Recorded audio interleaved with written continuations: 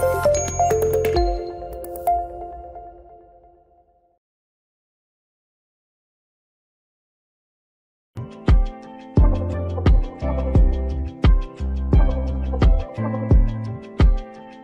الله الرحمن الرحيم الصلاة والسلام على رسول الله مع درس اليوم معنا مادة تاريخ القانون.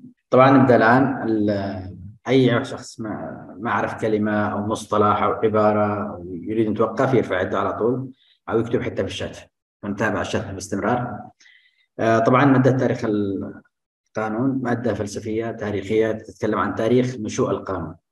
آه، بتتبع التاريخ كيف نشأ القانون كيف وصل الناس إلى ما وصلوا إليه الآن من حقوق وحريات ووصل الناس إلى أعلى مستوى في تاريخ البشرية في تقنين القوانين. طبعا الفوضى اللي تحصل الآن مثلا تقنين أشياء تخالف أو تضر بالبشر أو كذا هذا شيء آخر. لكن القانون الآن وصل لمرحلة متقدمة جدا لم تكن من قبل. هذا من جانب بشكل عام. بالنسبة للمسلمين من 1400 سنة هذه الشريعة الإسلامية هي نفسها من أول من 1400 سنة إلى يوم. الشريعة الإسلامية شريعة ثابتة من حيث الأساس والمبادئ الأساسية في الشريعة والعقائد وأشياء مهمة. ما يخص حياة الناس وتطور الناس وأي شيء تطور في الحياة فالشريعة الإسلامي تواكب ولهذا أنت تعرف في القانون أن القانون آه، أنواع القانون في العالم قانونين قانون مرن وقانون جامد. القانون الجامد صعب تغييره مثل القانون الفرنسي والدول اللي تبع هذا النظام. القانون المرن مثل القانون البريطاني ومن يتبع هذا القانون. القانون المرن عبارة أساسه العرف أساسه العرف والعادة. والإنسان يعني عندما يعمل شيء أو تحدث أي شيء جديدة في حياة الناس أو يتعود الناس على سلوك جديد باضطراد وبشكل حتى يصل الناس إلى قناعة أن هذه الطريقة وهذا الأسلوب وهذه العادات هي الشيء المهم في حياة الناس تتحول إلى قانون تتشرع عن طريق المجالس التشريعية وتصير تنزل القانون. العرف هو الأساس هذا القانون المرن. آه وسهل جدا أنه تغيير القانون في كل فترة. بالنسبة للقوانين الجامدة صعب يحتاج إلى إجراءات مصعبة شوية ولكن التغيير وارد في في كلا النوعين. بالنسبة للشريعة الإسلامية شريعة ثابتة قال الله تعالى مثلا وقال رسوله هذه أشياء معينة في أشياء لا تتغير وتبدل الصلاة والصيام والعبادات والعقيدة لا تتغير وتبدل هذا كله وفي أشياء تخص الناس. يعني آه مصالح الناس الذي يوفر الناس الراحة الذي يحسن أسلوب الحياة الذي الذي هذا يتغير بالتغير على حسب على حسب مصلحة الناس. فهذا بشكل عام. آه، طبعا في هذه المادة سوف نتعرف على طبيعة تاريخ القانون وأثره وأهميته في دراسة القانون وتطبيقه. آه، بدراستك لهذه المادة تعرف كيف تدرج الناس من الصفر. كانوا في حياة تشبه حياة الحيوانات والقوي يأكل الضعيف ولا قيمة للمرأة ولا قيمة للناس. يعني وصل الناس إلى مرحلة أنه يأخذ الإنسان الآخر بمجرد أن عنده له دين أو لأنه أقوى منه؟ يمتلكه مثل ما يمتلك الحيوان والبقرة وهكذا. فتطور الناس يوصلوا إلى مرحلة غير عادية بالنسبة لما كان عليه من سابق. آه، طبعا هذه المادة تعرف الطالب مدى علم تاريخ القانون ومناهج تدريس القانون مناقشة النظرات الفلسفية النظريات الفلسفية المتعلقة بنشوئه وموقف علماء الشريعة منها. طبعا دراستنا في الجمهورية اليمنية أو في بلادنا في اليمن ندرس تاريخ القانون وندرس الشريعة الإسلامية لأن الشريعة هي مصدر جميع السلطات وجزء من حياة الناس. حياة الناس عادتهم تقاليدهم محاكمهم مدارسهم كلها آه، نابعة يعني بما يتفق مع الشريعة الإسلامية. وكان في مخالفات في فساد هذا شيء آخر. لكن لا يوجد شخص يقول أو يحارب الشريعة الإسلامية أو لا يقبلها أو أن هناك مدرسة أو جامعة أو محكمة أو قسم شرطة لا يعترف بالشريعة الإسلامية أو لا يجعل الشريعة الإسلامية هي المرجع.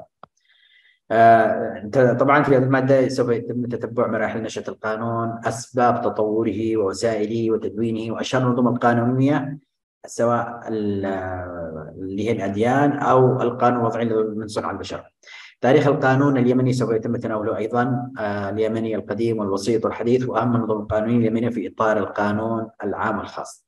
طبعا أربع وحدات وكل وحدة تتكلم عن موضوع من هذه أولا خصائص القانون.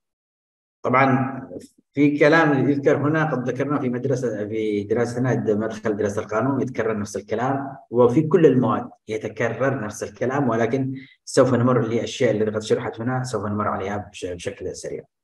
بالنسبة لخصائص القانون يعتبر قواعد اجتماعية قواعد عامة مجردة قواعد ملزمة هذه الثلاث الكلمات تفهمها وتظل معك في رأسك لأنه أنت الآن دخلت في باب وبحر القانون. قواعد اجتماعية فهو من علوم الاجتماع من العلوم التي تنظم أو تسير في هذا الجانب ليست من علوم الطائرات أو الهندسة أو الطب. علم اجتماع من علوم الاجتماع القانون. أي شيء يخص مجتمع الناس وحياة الناس فالقانون هو الضابط في كل القوانين في كل في جوانب الحياة بشكل عام. آه، فقواعد اجتماعية تنظم علاقات الأفراد في المجتمع فتحكم سلوكهم الخارجي. الحكم أما ما يحكم السلوك الداخلي فهي الأديان والأخلاق. آه، قواعد عامة ومجردة عامة من حيث الأشخاص والأماكن والأزمان فهي تطبق في دولة معينة محددة. الدولة هي تصدر القانون بطريقة معينة بقراءات شكلية معينة ولها مضمون موضوعي أو المرجع الفكري لهذا القانون. تلزم الدولة أفرادها في داخل إقليمها. كل دولة لها حدود ولها بشر تحت سيطرتها يحملون جنسيتها يطبق عليهم. على الاشخاص والاماكن والازمان، لا توجد دولة تطبق قانونها على دولة أخرى ولا تستطيع أن تطبق قانونك على أفرادك في دولة أخرى. بحجة انهم من جنسيتك لأنه ليست ليس القانون جزء من السياده. القواعد القانونية قواعد ملزمة. ولهذا يفرض جزاء مادي عقوبة توقع السلطات على من يخالف قواعد القانون. هل في سؤال أو شيء هنا؟ ثلاث الخواص قواعد اجتماعية قواعد عامة مجردة قواعد ملزمة. هذه الخصائص تحفظها مثل ما تحفظ اسمك. أساسية مهمة جدا. هو من علم الاجتماع. عامة لكل الناس وكل الأفراد لا يوجد قانون خاص يطبق على الناس وعلى الناس منطقة ومنطقة لا ما دام الناس خاضعين تحت سلطة واحدة أو علم واحد القانون كله يطبق على كل الناس صغير وكبير. وملزم ملزمة بحكم أنه إذا لم توجد سلطة تلزم الناس بتطبيق القانون الناس سوف يتولدون وتحدث الفوضى فلا بد من سلطة. ما هي أهمية القانون وأساس إلزاميته هذه الإلزامية وأن الدولة هي تلزم لابد من آه، إذا تكلمنا نقول دولة أو نقول عن القانون أنه قواعد عامة مجردة وهناك سلطة تلزم الأفراد باتباعه ما هي أساس إلزامية القانون؟ يعني ما هو السبب أن جهة معينة تلزم الآخرين بأنهم يقوموا بالالتزام بهذا القانون ما هو السبب؟ ما هو المرجع؟ ما هو الشيء اللي استندت عليه؟ آه طبعا القانون يحقق النظام الاجتماعي ويحمي حقوق الأفراد ويحمي حقوق المجتمع ويعمل توازن بين ما حق الفرد وما حق المجتمع. فترى أنه الملكية الفردية وحق الفرد وحقوقه وحرياته ومعك حقوق المجتمع وما هو خاص بالمجتمع. المدرسة المستشفى الطريق الصحة الأمن النظام. النظافة هذه أشياء عامة تهم الكل الصغير والكبير. وهناك الملكية الفردية وحق الشخص في حرياته الأساسية حقوقه وحرياته الأساسية. فإذا تصادم حقوق الإنسان وحرياته مع الآخرين تقف. القاعدة تقول تنتهي حرية الشخص عندما تتصادم مع حرية المجتمع أو حرية الآخرين. فإذا كانت حرية الشخص أنا أريد أن أسمع الغنى وأغني وأرفع الصوت يجي وقت الليل ممنوع أنا اشتي ارتاح أنا من حقي ما حد يقدر يمنعني لا. هذا مجتمع يريد ينام وجعلنا الليل سباتا وكل قوانين العالم ممنوع الضوضاء في الليل. لماذا حقك أنتهى عندما يبدأ حق الآخرين؟ هكذا. إنسان يريد كما في الدول الغربية طبعا إحنا نتكلم في القانون لا نتكلم عن قضية نتكلم بشكل عام عن القانون والدراسه القانونية.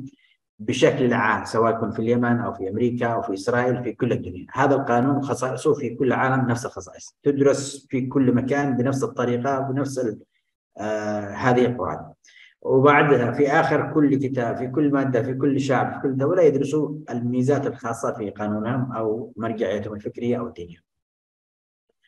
آه ما هو أساس الزاميه القانون؟ هناك مذهبان. المذهب الأول أساس ان الأساس ارادي أساس إرادي فالإرادة والمشيئة هي التي جعلته ملزما. أساس طبيعي ضروري غير إرادي. فالإرادة هي التي جعلته ملزم. المذهب الثاني أنه طبيعي ضروري غير إرادي. ما معنى أساس إرادي؟ ومعنى أساس طبيعي؟ هذا سوف ندخل في الموضوع الأول. الرأي الأول قال أساس إرادي فالإرادة والمشيئة هي الأساس. هي الأساس وهي اللي تلزم وهي السبب في إلزامية القانون وتفرض الإلزامية. قال القانون صادر من هيئة عليا هي المشرع فالقانون مشيئتها هذا الرأي الأول. وقال وانقسم هذا أصحاب الرأي إلى قسمين. الأول قال آه قال هناك هيئة حاكة الهيئة الحاكمة آه هي المشرع وهي التي تسن القوانين. والثاني قال هيئة محكومة هم الأفراد الخاضعين لهذا القانون ليس لهم إرادة في وجوده. طبعا هذا رأي وهذه نظرية وهذا كلام طرف. الطرف الآخر سوف ينتقد هذا الطرف وينتقد هذا الرأي و ويقول والعيوب كذا. وثم نأتي إلى الترجيع في النهاية. ما هو الرأي الأول والرأي الثاني وما هو السائد والذي يمشي عليه الناس. فقالوا فهنا أصحاب هذا الرأي أن الرأي أن إلزامية القانون السبب هو أساس أنه أساس إرادي وأن الإرادة والمشيئة هي الأساس في إلزامية القانون. لكن قالوا هناك هيئة حاكمة وهيئة محكومة. ثم اختلفوا في تحديد المشرع. من هو المشرع؟ من هو صاحب الإرادة في سن القوانين والتشريع؟ قالوا هنا رأيان. الرأي الأول أصحاب القوانين الدينية وهناك معك أصحاب القوانين الوضعية. القوانين الدينية هم اللي مثلا المسلمين اليهود النصارى البوذيين هؤلاء لهم مراجع دينية. أصحاب القوانين الوضعية هم الذين يعترفوا في الأديان وقانون سلطة مستقلة أو الذين يسمون باسم العلمانيين أو بهذا الشكل. أصحاب القوانين الدينية قالوا القانون عندهم قوة غير منظورة وحي من الله سبحانه وتعالى كما هو عند المسلمين. إذا هو قوة غير منظورة وحي من الله سبحانه وتعالى. غير المسلمين البوذيين والنصارى الذين محرف واليهود يقولون نفس الطريقة وأن المشرع قوة غير منظورة. من هو؟ فكل دين على دينه. نحن عندنا في الإسلام المشرع هو الله عز وجل والحاكم لله عز وجل. أصحاب القوانين الوضعية قالوا هي هيئة بشرية سواء بصورة فرد أو جماعة سواء يكون الشخص الذي يصدر قانون شخص الدكتاتور أو رئيس الدولة أو الملك أو كان صادرا من هيئة تأسيسية أو مجلس منتخب أو بأي طريقة المهم أنه صادر من البشر. هذا أصحاب القوانين الوضعية. آه يعيب هذا الرأي الذي أن القانون أساسه الإلزامي الإرادة المنشأة للقانون أنه أغفل جانب القوانين العرفية. طبعا كما تكلمنا أن القانون هو عبارة كانت أعراف وعادات وتقاليد لهذا المجتمع وتعودوا على أنه في الديار يعملوا كذا في الزواج يعملوا كذا في عقوبة الزاني كذا في عقوبة المخالف كذا. فهذه الأعراف والتقاليد وضعوها في صيغة قواعد قانونية ونزلت الناس وصارت قانون. يعني العرف هو الأساس. الذي أساس القانون من أين أتى أساس القانون؟ من العرف. فقالوا أصحاب الرأي الآخر الدين يعيبون هذا الرأي. قالوا كيف أنتم تقولون أن الإرادة المنشئة هي أساس الإلزامية في القانون؟ تمام. والإرادة المنشأة. فما فأين العرف؟ والعرف ليس إلزام ولا شيء هو تعارف هو تعارف يتعارف عليه الناس وعرف يصير عند الناس محترم ويصل إلى مرحلة إلى إلزامية بسبب الناس احترموه وأحبوا هذا النظام أو الطريقة الفلانية واعتقدوا أنها صحيحة وصارت ملزمة. ويعيبون على من يخالف. فقالوا أين أصحاب العرف؟ وأين العرف في في نظريتكم؟ قالوا أيضا يصعب تطبيق هذا الرأي أن الإرادة الملزمة هي السبب الإلزام يصعب تطبيقه على قانون القانون الدستوري. والقانون الدستوري عبارة عن أعلى قواعد في الدولة تنظم علاقة بين الحاكم والمحكوم. فهي لا تلزم مصدر, مصدر القانون في حالة الحاكم المصدر. فقالوا لو أن الحاكم هو المصدر الحكم هو الذي هو الذي يصدر والمشيئة مشيئته من يحكمه هل الحاكم بلا سلطان سلطة فوقه؟ هل لا يوجد عليه رقابة؟ إذا كان هو إرادته المنشئة للقانون وهو الأساس فمن يتحكم به؟ وحتى لو كان هيئة تأسيسية أو كذا قالوا كيف؟ من من الذي يستطيع أن يلزم هذا المصدر الذي هو مصدر القانون؟ قالوا أيضا جاء الثالث في قواعد القانون الدولي كل دولة حاكمة ومشرعة فلا تخضع كل دولة للأخرى. يعني كل دولة تقبل أن تخضع لدولة ثانية. فكل دولة آه، ذات سيادة ولا تقبل أن تحكم بقانون دولة أخرى ولا أن تملي عليها دولة أخرى قوانينها أو قواعدها أو تمشي بما تملي عليه دولة أخرى. فقالوا هذا إذا الثلاثة عيوب. العيب الأول أنه في الجانب العرف العيب الثاني آه، من ناحية الدستوري والقانون الدستوري عندما يصدره الحاكم فمن رقيب على الحاكم ومن يلزم الحاكم إذا أخطأ أو أسرف في حق المجتمع قالوا في جانب القانون الدولي الدول لا تخضع للدول الأخرى ولا وهذا يعتبر من قسم السيادة فكيف تفسرون هذا الكلام؟ فما رأيهم؟ قالوا الرأي عندنا أن الرأي الثاني هو الأساس أن الأساس اللا إرادي للقوة الملزمة في القانون فأن الأساس اللا إرادي. أن الأساس هنا ليس إرادة منشأة ولكن الأساس لا إرادي. فكيف هذا الكلام؟ قالوا التزام الناس بالقانون بسبب دافع ذاتي تلقائي نابع من الفطرة ومن الطبيعة. ويعني بمعنى أنه ليست الإرادة المنشأة للحاكم أو الجهة التأسيسية أو مجلس النواب أو الذي أصدره صاحب الإلزام. قالوا الإلزام دافع ذاتي في الإلزام دافع فطري دافع من الطبيعة. هو السبب في التزام الناس بالقانون. ولكن هؤلاء أيضا اختلفوا في دوافع احترام القانون والالتزام به آه، فطريا. فقالوا كيف نلتزم به فطريا؟ فقالوا نحن نفسر أنه هناك أصحاب يسمون مذهب القانون الطبيعي وهناك أصحاب مذهب القانون التاريخي ومذهب الغاية الاجتماعية ومذهب التضامن الاجتماعي. انقسموا إلى أربعة آراء. يعني أصحاب الأساس الإرادي لديهم أربعة آه، تصورات أو يختلفون على أربعة آراء وهي المذكور الآن. مذهب القانون الطبيعي يقول الأساس قانوني موجود في طبيعة الروابط الاجتماعية ثابت يكشفه العقل البشري. العقل البشري هو الذي يكتشف هذا ال ال ال الإرادة الملزمة وأنه موجود في طبيعة الروابط الاجتماعية. طبيعة الروابط الاجتماعية ملزمة أصلا. مذهب القانون التطور التاريخي. قال الأساس فطري. الأول قال أساس في طبيعة الروابط الاجتماعية هذا قال أساس فطري وليس قانوني ثابت بسبب التطور التاريخي للمجتمع أما المذهب الثالث رقم ثلاثة أو الرأي الثالث قالوا الغاية الاجتماعية إن الدافع الفطري لاحترام القانون هو دافع الغاية الاجتماعية وهو حفظ المجتمع إذا ما الغاية؟ ما السبب؟ قالوا نريد المجتمع أن يحفظ المجتمع وأن تحفظ الحقوق في المجتمع فالغاية هي مصلحة المجتمع. أما مذهب التضامن الاجتماعي الاختلاف بسيط بينهم والأولى ولكن قال احترام القانون فطريا يرجع إلى دافع التضامن الاجتماعي. ليس الدافع الذي قبله قال دافع الغاية الاجتماعي قالوا هنا التضامن الاجتماعي وهذا الرأي يفسر إلزامية قواعد القانون التفسيري. طبعا هذا الرأي الرابع هو الذي فيه حل لأساس الإلزام أنه صاحب أنه المنشئ للقانون هو الذي آه، هو صاحب الإلزام. فهنا في في في هذا الرأي مذهب التضامن الاجتماعي يفسر آه، إلزامية قواعد القانون الدستوري. والسبب هو ماذا؟ المذهب الغاية التضامن الاجتماعي. التزام الحاكم أيضا التضامن الاجتماعي يلزمه ومثله التزام الدول بقواعد القانون الدولي كونه شيئا لا إراديا موجودا فيه. فالدول تضامنها الاجتماعي حتى يستقر على مستوى المجتمع الدولي تضامن اجتماعيا لمصلحة المجتمع كامل هذا الذي يسبب إلزام الدول في قواعد القانون الدستوري.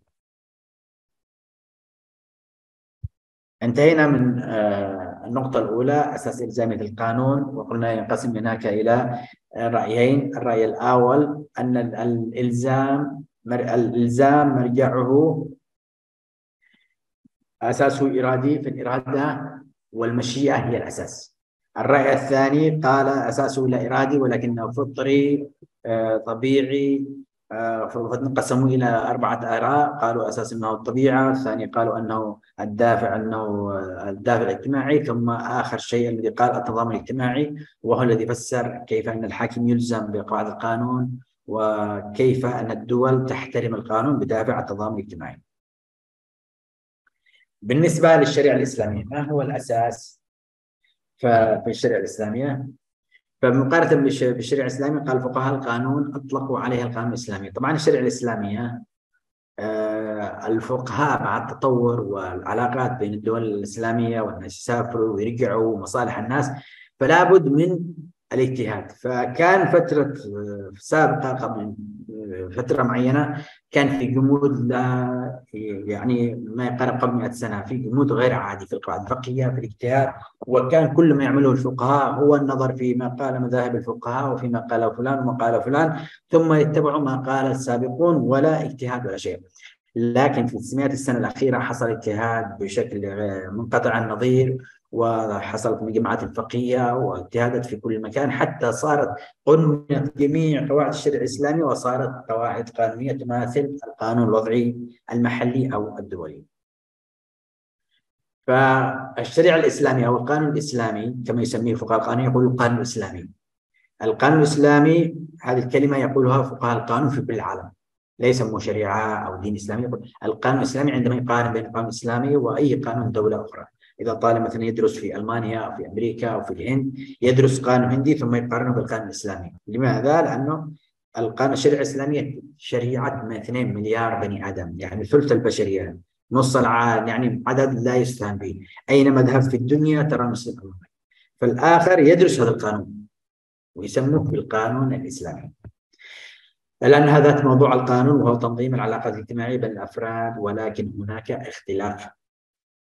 والاختلافات هي سوف ندرسها على آه، بالتدريج. دائما شريعة إسلامية تدرس في كل الأبواب في كل في كل القوانين في كل فرع من فروع القانون ويدرس وراء الشريعة في كل صغيرة وكبيرة وهذا يظل معكم حتى تنهي الدراسة في سنة رابعة آه، في كل الشريعة. ويستمر معكم الدراسة من بعد لما تكون في مرحلة البحث دائما تفضل في الجامعة الإسلامية وفي الدول الإسلامية أنه تعمل دراسة مقارنة في كل فرع من فروع القانون.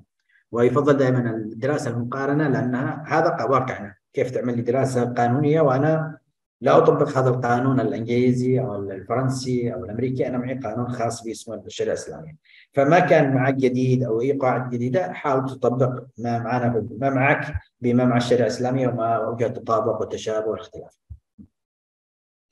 آه طبعا مدلول مصطلح شريعة وفقه. أحد عنده سؤال أو إضافة أو شيء فيما طرح الآن؟ لا أسئلة على شيء. طبعا شريعة وفقه. ما معنى شريعة ومعنى الفقه؟ التعريف الشريعة أخذناها أمس في مادة اللي درسوا معنا شباب أريد الذي يدرس معي نفس المادة من مدخل دراسة القانون يأشر. يعمل رقم واحد ولا يأشر أنا ولا في في الأشياء.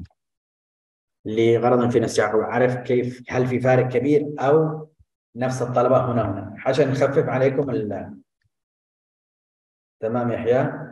ممكن تأشره حتى في الشات في الشات اكتب أنا موجود في المادتين أو أنا موجود في مادة واحدة فقط. طالب واحد فقط موجود في المادتين. يحيى اثنين. من غير؟ البقية يعتبروا طلبة القانون تاريخ القانون. طلبة مختلفين عن طلبة مدخل دراسة القانون. في المادتين؟ نعم اثنين. اثنين طلبة. بس ما في مشكلة ثلاثة الترم الأول أخذت مادة القانون جيد. طبعا المادة هي موجودة على الناس كلهم كل الناس اللي ما درسها سوف يدرسها. يعني اللي الآن معي في تاريخ القانون سوف يدرس مادة مدخل دراسة القانون. ما أدري كيف تأخذ المادة okay ما في مشكلة. قد تكون المواضع المقررة ممكن نخففها ونمشي. لكن العدد قليل بهذه الطريقة يستمر كل مادة تدرس كما هي وانتهى. بالنسبة لتعريف الشريعة الشريعة لغة الشريعة بمعنى الطريق الواضح المؤدي إلى الماء الشرعة والشريعة هكذا معروف وكلمة عندنا حتى ممكن دارجة بعض القرى أو بعض المناطق تسميها ما زالت شرعة الماء تسميها هكذا. آه، استعاره الفقهاء من شرعة الماء ليدل على ما شرعه الله تعالى. ترجع إلى المنبع. دائما شرعة الماء أو طريق الماء أنت تمشي تمشي حتى ترجع إلى المنبع الذي خرج منه الماء. وهكذا الشريعة يدل على ما شرعه الله تعالى لعباده من الأحكام التي جاء بها نبي من الأنبياء اعتقادا وعملا. أما الشريعة الإسلامية كمصطلح هو ما نزل به الوحي على سيدنا محمد صلى الله عليه وسلم. ليصلح الناس في دنياهم وآخرتهم سواء في أحكام العقيدة أو العبادة أو المعاملة أو الأخلاق. المعاملات هذا هو الذي يوازي القانون. القانون يوازي أو يقابله المعاملات في الشريعة الإسلامية أما العقيدة العبادة الأخلاق هذا شيء آخر. شيء آخر. طبعا كل كل أمة لها أخلاق ولها قيم ولها ثقافة. تدرس مادة مستقلة عن قانون ولا وكل شعب يختص بأشياء تختلف لكن نحن مثلا في الشريعة الإسلامية عندنا العقيدة والعبادة والأخلاق. منبع واحد وهي شيء واحد. تدرس بشكل عام يعني آه، أما العبادات هي ثمرة العقيدة والعبادة الأخلاق. ثمرة العقيدة والعبادة الأخلاق ودائما يقاس الإنسان بأخلاقه. يقاس الإنسان بأخلاقه. الأخلاق صحيح ليست مواد مثل القانون وليست كذا ولكن هي الثمرة وهي المقياس البني آدم أنه تعلم أو درس أنه يحمل عقيدة معينة أو وتعرف ما هو الإنسان. الشريعة كلمة لحالها شريعة هي مجموعة أحكام الدين والذي هو النظام الإلهي الذي يسلك بمن اتبعه سبيل الاستقامة والصلاح في الدنيا والنجاح والفلاح في الآخرة. شريعة سواء شريعة محمد أو عيسى أو موسى أو جميع الأنبياء. شريعة كلمة عامة. الشريعة الإسلامية ما نزل به الوحي على سيدنا محمد صلى الله عليه وسلم. ما هو تعريف الفقه؟ طبعا مصطلح الفقه هو الفهم. كلغة كلمة معنى اللغوي الفقه هو الفهم وهذا مصطلح يخصص آه، مفهوم الشريعة عن الأحكام العملية دون الاعتقاديه طبعا الفقه يأخذ الجانب العملي من أحكام الشريعة الإسلامية اللي هي الصلاة والعبادة والاشياء الاخرى مثل فقه العبادات، فقه الأسرة، فقه المعاملات، السياسة الشرعية، فقه القانون العام، فقه الجنايات، قانون الجنائي الذي يقابله فقه المعاملات الدولية ذو أحكام السير. شريعة شريعة إسلامية فقه مصطلح القانون. مصطلح القانون كما ذكرنا في الدرس السابق لما كان معنا حاضر أمس أو اليوم. طبعا كلمة قانون كلف قاف ألف نون واو نون ليست مذكورة بكثرة في كتب الشريعة وفي أبواب الفقه. ليست مذكورة. ولكن الشريعة الإسلامية هي عبارة عن قانون الذي هو التنظيم الذي هو عبارة عن قواعد الحياة قواعد الإنسان. يسير فيها الدنيا ويصل بها إلى رضا الله عز وجل في الآخرة. مهما كان. فالقانون هو موجود أصلا. ذكرنا قلنا قانون أو نقول شريعة ولكنه قانون. حتى بعض علماء الفقهاء لو تقول له القانون الإسلامي يزعل ويعتبرها مشكلة. لماذا تقول شريعة؟ لماذا تقول شريعة؟ نحن لسنا قانون. مع إنه لا, لا مشكلة أن تقول قانون إسلامي أو شريعة إسلامية. لا مشكلة ابدا. ولكن الشريعة أوسع. كلمة أوسع. وكلمة قانون أخص التي تتعلق بجانب ما لك وما عليك. ما واجباتك وما حقوقك لكن الشريعة تتكلم عن الأخلاق والعبادة والعقيدة. قال ذكر لفظ القانون عند بعض الفقهاء كلفظ. ويذكر عند بعض الفقهاء كلفظ بلفظ قانون عند البعض لكنه بشكل عام موجود عند العالم جميع العلماء أنه معروف أن القانون الشريعة هي القانون وهي اللي تعمل انضباط وتضبط أمور الناس وحدهم. ما هو المعنى؟ في كتب الفقه. من الكتب التي صرحت بلفظ القانون ما ذكره القرافي في كتاب الفروق؟ هذا كتاب مرجع في اللغويات وذكره في ذكر في الاحكام السلطانية. آه، موجود لاكثر من من عالم. الاحكام السلطانيه ابن تيمية والغيره آه، مذكور آه، كلمة القانون. كتاب القوانين الفقهية في تلخيص المذهب المالكي لابن الجزي أيضا ذكر مصطلح القانون. فالمصطلح موجود ولكن بخصوصية أنه لا يذكر بك... لا يذكر بكثرة ولا يكرر في كتب الفقه. موجود فعلا من حيث المعنى من حيث الموضوع. أنه التنظيم والإدارة والحقوق موجود في في في صلب الشريعة لكن لا يذكر. الشيء الثاني إن ذكر فهو مختص بالقواعد القانونية الصادرة عن ولي الأمر. ما هي خصائص الشريعة الإسلامية مقارنة بالقانون الوضعي؟ تفضل يا شباب. من عندكم الآن نبدأ. خصائص الشريعة الإسلامية. كل واحد يتكلم أو يكتب بالشات أو يفعده نريد مداخلتنا. ما هي خصائص الشريعة الإسلامية اللي تميزها عن القانون الوضعي؟ نريد نعرف ما الذي قرأ ما الذي عنده فهم من كذا. تكلم. تفضل. أن مصدرها من الله سبحانه وتعالى. مصدرها من الله سبحانه وتعالى. نعم. اثنين. آه الله وضعها. آه غير هذه الصفة؟ مصدرها من الله عز وجل. اثنين هدف استقرار المجتمع. نعم كلام في القانون استقرار المجتمع الغاية. غيره؟ لا التكاملية ماذا؟ الشريعة الشريعة الإسلامية أكثر انتشارا واتساع شمولية واتساع آه، شمولي يعني قصدك شمولي. نعم. نعم جيد ممتاز. العمومية ذكر الأخ استقرار المجتمع وضعها من عند الله عز وجل. طبعا عندما تقول أنها من عند الله لماذا؟ إيش الميزة هنا؟ عندما تقول الشريعة الإسلامية من عند الله. أن الذي خلق الكون هو الذي وضع الشريعة. فمعنى الكلام إنه لما أنا أصنع سيارة أقول لك تشغلها بالطريقة الفلانية وتعمل لها كذا وتغير لها الزيت وتغير هذه بعد سنتين وهذه تعمل لها كذا والسياره تنتهي بعد كذا. أنا صاحب السيارة أنا اللي صنعتها. أنت ما عليك صاحب أنت السائق أشتريت ما عليك لا تمشي بعد الكلام فعندما تجعل الشريعة قداسة كبيرة عظيمة أن مصدرها هو الله عز وجل ليس البشر، البشر هم مثلك. نزعات ورغبات وشهوات في الإنسان هو الذي يصدر القانون. يصدرها على حسب فهمه على حسب ميوله على حسب تربيته على إذا كان إنسان شاطح أو مجنون بيطرح قانون مجنون. إذا كان إنسان آه، طيب بيعمل قانون في ترهل زائد إذا كان قانون الرجل شديد بيعمل أشياء يشد على الناس لكن الخالق رحيم بعباده ويكون أعلم بعباده فتكون القواعد القانونية مصدرها من الله غير لما تكون مصدرها من البشر.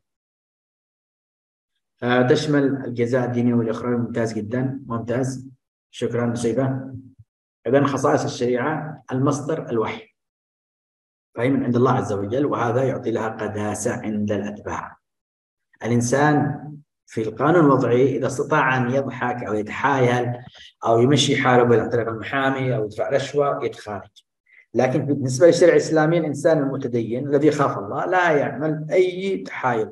ما قال الله على عيني ورأسي في الخفاء في في العلن أمام الناس لوحده هذا هو الإنسان يخاف الله ويحاول أن يطبق تعاليم الشريعة وأن يرضي الله ولا يعمل شيء يضر بنفسه أو بالمجتمع أو بالنظام العام بشكل عام. لماذا؟ أن الذي وضع القانون هو الله وهو الذي يرى وهو الذي يراقبك وهو الذي يجزيك وهو وهو فالخوف من العقوبة الدنيوية لا تأتي إلا بعد الخوف من الله عز وجل.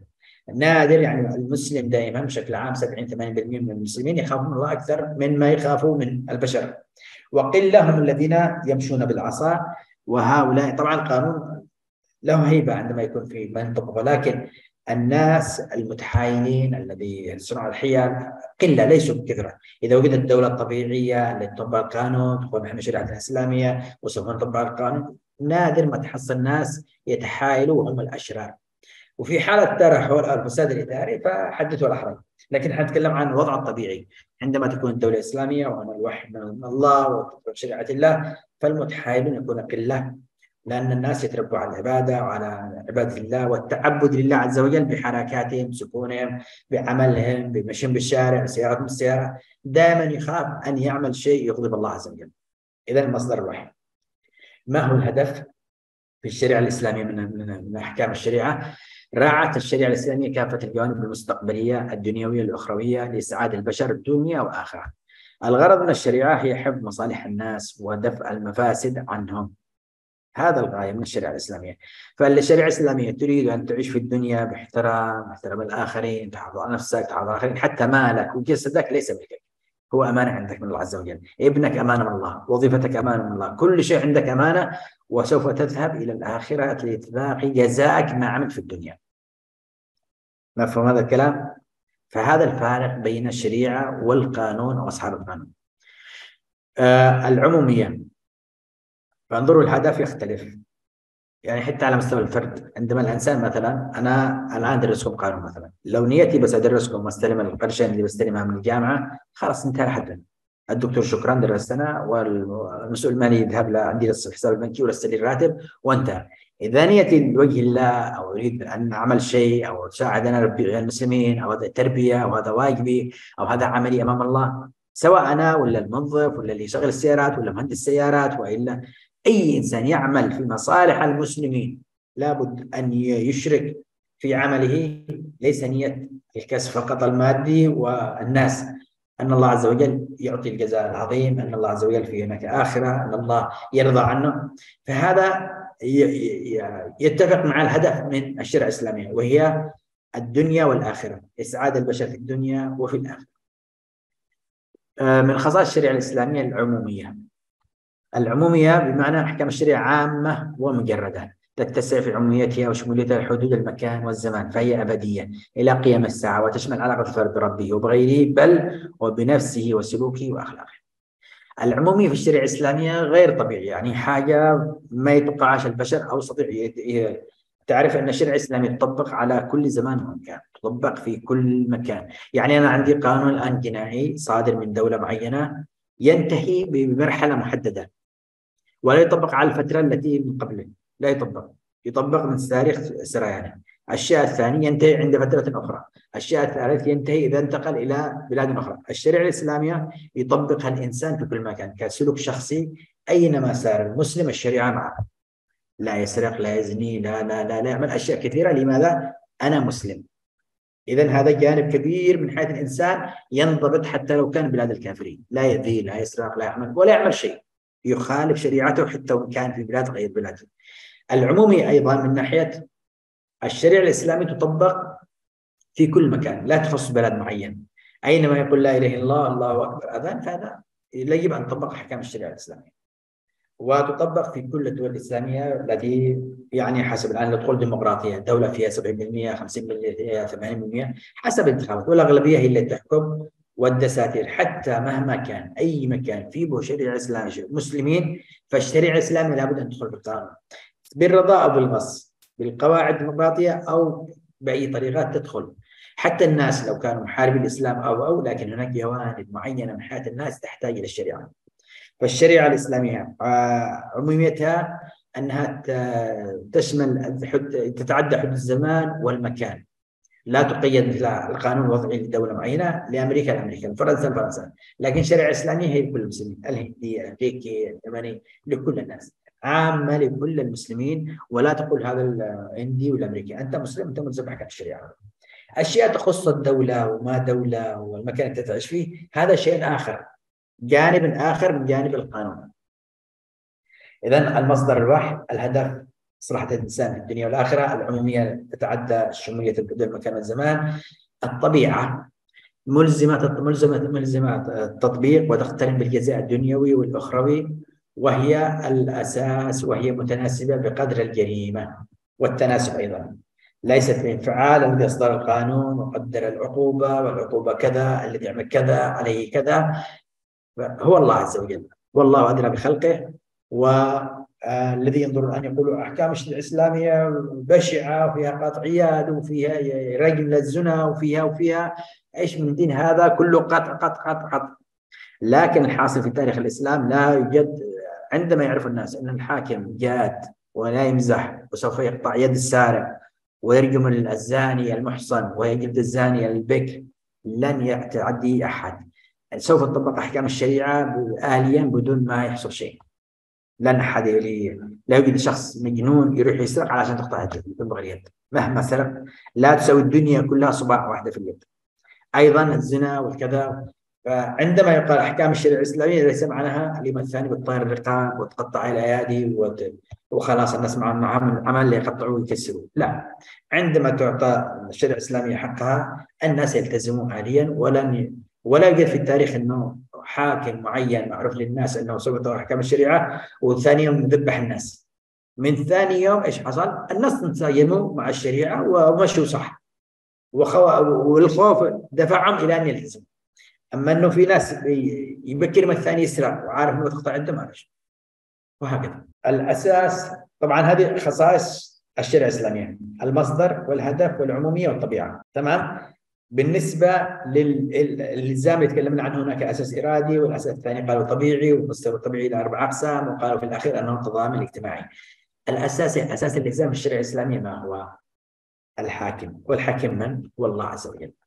الأساس في احترام الناس للأوامر والنهي الشرعية هو إرادة المشرع في هذه الأحكام هو الله سبحانه وتعالى والذي أوجب طاعته بمقتضى صدق الإيمان به والشريعة والشريعة. أحكام مبنية على جلب مصالح الإنسان طبعا المسلم يؤمن بالله عز وجل والله صحيح المصدر القانون والوحي من الله عز وجل والقرآن كتاب الله والحديث حديث النبي صلى الله عليه وسلم وما ينطق عن الهوى إن هو إلا وحي يوحى أمر الله عز وجل ينفذ من الناس بشكل آه، عفوي طبيعي لأن هذا هو الخالق بقناعه آه، ربي هو الذي خلقني وهو أدرى بي وهو مصلحتي. فالإنسان عندما يثق بأبي وأمه يأتي منهم الضرر فهو ثقته بالله عز وجل أكبر وأشد. والمسلمون راضين بقانونهم ولا يوجد أمة مسلمة ملتزمة وفيها سخط على الشريعة الإسلامية أبدا. وكل من يسخط على الشريعة ويتنكروا الشريعة ويطالبوا قوانين وضعية. هم ناس درسوا على يد النصارى واليهود وموجهين ضد الشريعة الإسلامية وجاءوا من الخارج. لا يوجد شخص تربى في في ظل الشريعة الإسلامية وظل أحكام الشريعة وكبر وهو يكره الشريعة لأنها تشددت عليه ولأن الأحكام ما تناسبت معه عندما كان صغيرا وأنه لا يوجد. وكل من يحارب الشريعة الإسلامية هم ناس تربوا في الخارج أو أو دعوا من الخارج لمحاربة الدين لكن هل عليهم ضرر؟ هل حصل لهم من أثناء تطبيق ضرر؟ لا يوجد. أحكام الشريعة من ثمارها السعادة في الدنيا والآخرة. العدل الطمأنينة الأمن الاستقرار الحقوق تصل إلى أصحابها. هذا اللي معروف عن الشريعة الإسلامية. تعرف إحكام الشريعة بطريق الوحي المباشر والكتاب والسنة أو بطريق غير مباشر بالبحث عن حكم في حكم الله فيما لم يرد. طبعا مصادر الشريعة الإسلامية معروف إن كتاب الله وسنة رسوله. قال الله قال رسوله. ومن قال الله ورسوله تعتبر مثل تقابل الدستور أو الدساتير في القوانين الوضعية. ما جاء جديد أو شيء لا يوجد في كتاب الله وسنة رسوله يقاس عليه. لماذا جاءت الشريعة؟ لحفظ البدن، لحفظ الدين، لحفظ العرق، لحفظ المال. الأمر المطروح على الناس، المطروح في الساحة، المطروح أمام الناس، هل هذا الشيء يضر الناس؟ هل هذا يحافظ على الدين؟ يحافظ على العرق؟ يضر أي من المقاصد الخمسة مقاصد الشريعة؟ هل يضر المصالح الكلية نسميها المصالح المصالح الأساسية والمقاصد الشريعة اللي هي الخمسة؟ هل هذا الأمر يضر أم ينفع؟ ما مقدار ضره ومقدار نفعه؟ هنا يرجع الناس لماذا؟ يرجع إلى الأساس. فالشريعة الإسلام تأمر بالتفكر تأمر بالتدبر تأمر بالتحليل تأمر بالنظر في مصلحة الناس. لا الشريعة ليست عبارة عن طقوس وخرطقات وأشياء يقولها الناس و وهي بعيدة عن عن عن بعيدة كل البعد عن حياة الناس أو أو تلامس مصالحهم. طبعا القرآن والسنة هي المصادر المصدر المباشر وبقية المصادر مصدر غير مباشر. الاجتهاد والقياس والمصالح المرسلة ومبادئ العدالة كلها سوف تدرسها على قسم قسم ما معنى؟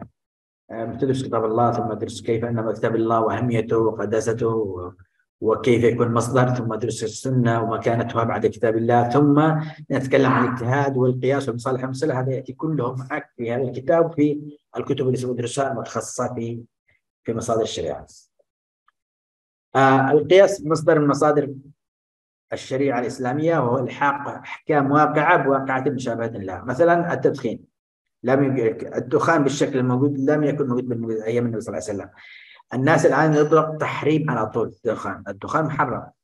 لماذا؟ ليسأل على ماذا؟ لأن الدخان يضر الجسد. وما يضر الجسد فهو حرام. إذا المصلحة للإنسان أن يدخن أو لا؟ هل المصلحة هل الدخان هذا فيه منه مضرة؟ نعم. لو كان استوت المصلحة والمفسدة ما فيش مشكلة هذا يعتبر مباح. فيه نص أو ليس فيه نص هكذا. لكن مسألة فيها ضرر فهي محرمة. لأن الله أمر بأكل الطيبات ونهانا عن أي شيء يدمر الجسد الجسد أمانة والمجتمع أمانة وكل شيء تحت متناول يدك فهو أمانة. المصلحة المرسلة. قال المصلحة المرسلة هي الحاق الواقعة بالمبادئ والمقاصد العامة للشريعة لجلب مصلحة أو در مفسدة. عفوا يا شباب. المصلحة المرسلة إلحاق الواقعة بالمبادئ والمقاصد العامة للشريعة. مقاصد الشريعة العامة قلنا أن الشريعة الإسلامية جاءت للحفاظ على المصالح الكلية التي هي حفظ الدين والعرض حفظ الدين والنفس والعرض والمال والعقل. هذه المصالح ما ضرها فهو محرم وما ينفعها فهو آه، واجب وحلال وتحث الشريعة عليه. ما هو الاجتهاد؟ الاجتهاد هو عمل الفقهاء والتفكير في إحكام طارئة جديدة لا يوجد فيها فيما قال الله ولا ما قال رسوله حل أحكام جديدة أشياء اخترعت أساليب حاجات جديدة. فما حكمها؟ يرجع الناس إلى الاجتهاد. المجتهد من هو المجتهد؟ أصحاب العلم الذين متبحرين في الشريعة الذين يقرؤون متخصصين في جانب معين. مثلا الان في الوقت الحالي لم لم يعد الفقهاء مثل ما كانوا في أيام ابن تيمية وأيام العلماء السابقين، الآن قد يكون فقيها في الشريعه الاسلامي في جانب معين المعاملات المالية، في جانب التفسير، في جانب علم القرآن، ويصير مجتهدا في علمه ولكنه قد يكون عنده علم بسيط في جانب آخر، لكن هو مرجع في هذا العلم. فهذا هو المجتهد الذي يوجد حلول شرعية موافقة للشريعة في المسائل الطارئة لحياة الناس حتى الناس يصيروا على بصيرة دائما. طبعا المجتهد هذا عندما يصل إلى حكم معين في واقعه معينة هو ملزم بما وصل إليه لأنه درس وبحث ووصل إلى النتيجه. وإنسان ذهب إليه يسأله وهو لا يعلم فهو ملزم بما قال له هذا المجتهد. ليس لك أن تذهب إلى الشخص هذا تسأله وقال لك رأيي أنا بالشكل الفلاني لأنه مجتهد وهذا الرأي الذي أراه أبصرت الأمر صعب وشديد وما عجبك تذهب إلى شخص آخر آخر وآخر لما تشوف الفتوى السهلة وتمشي بعدها.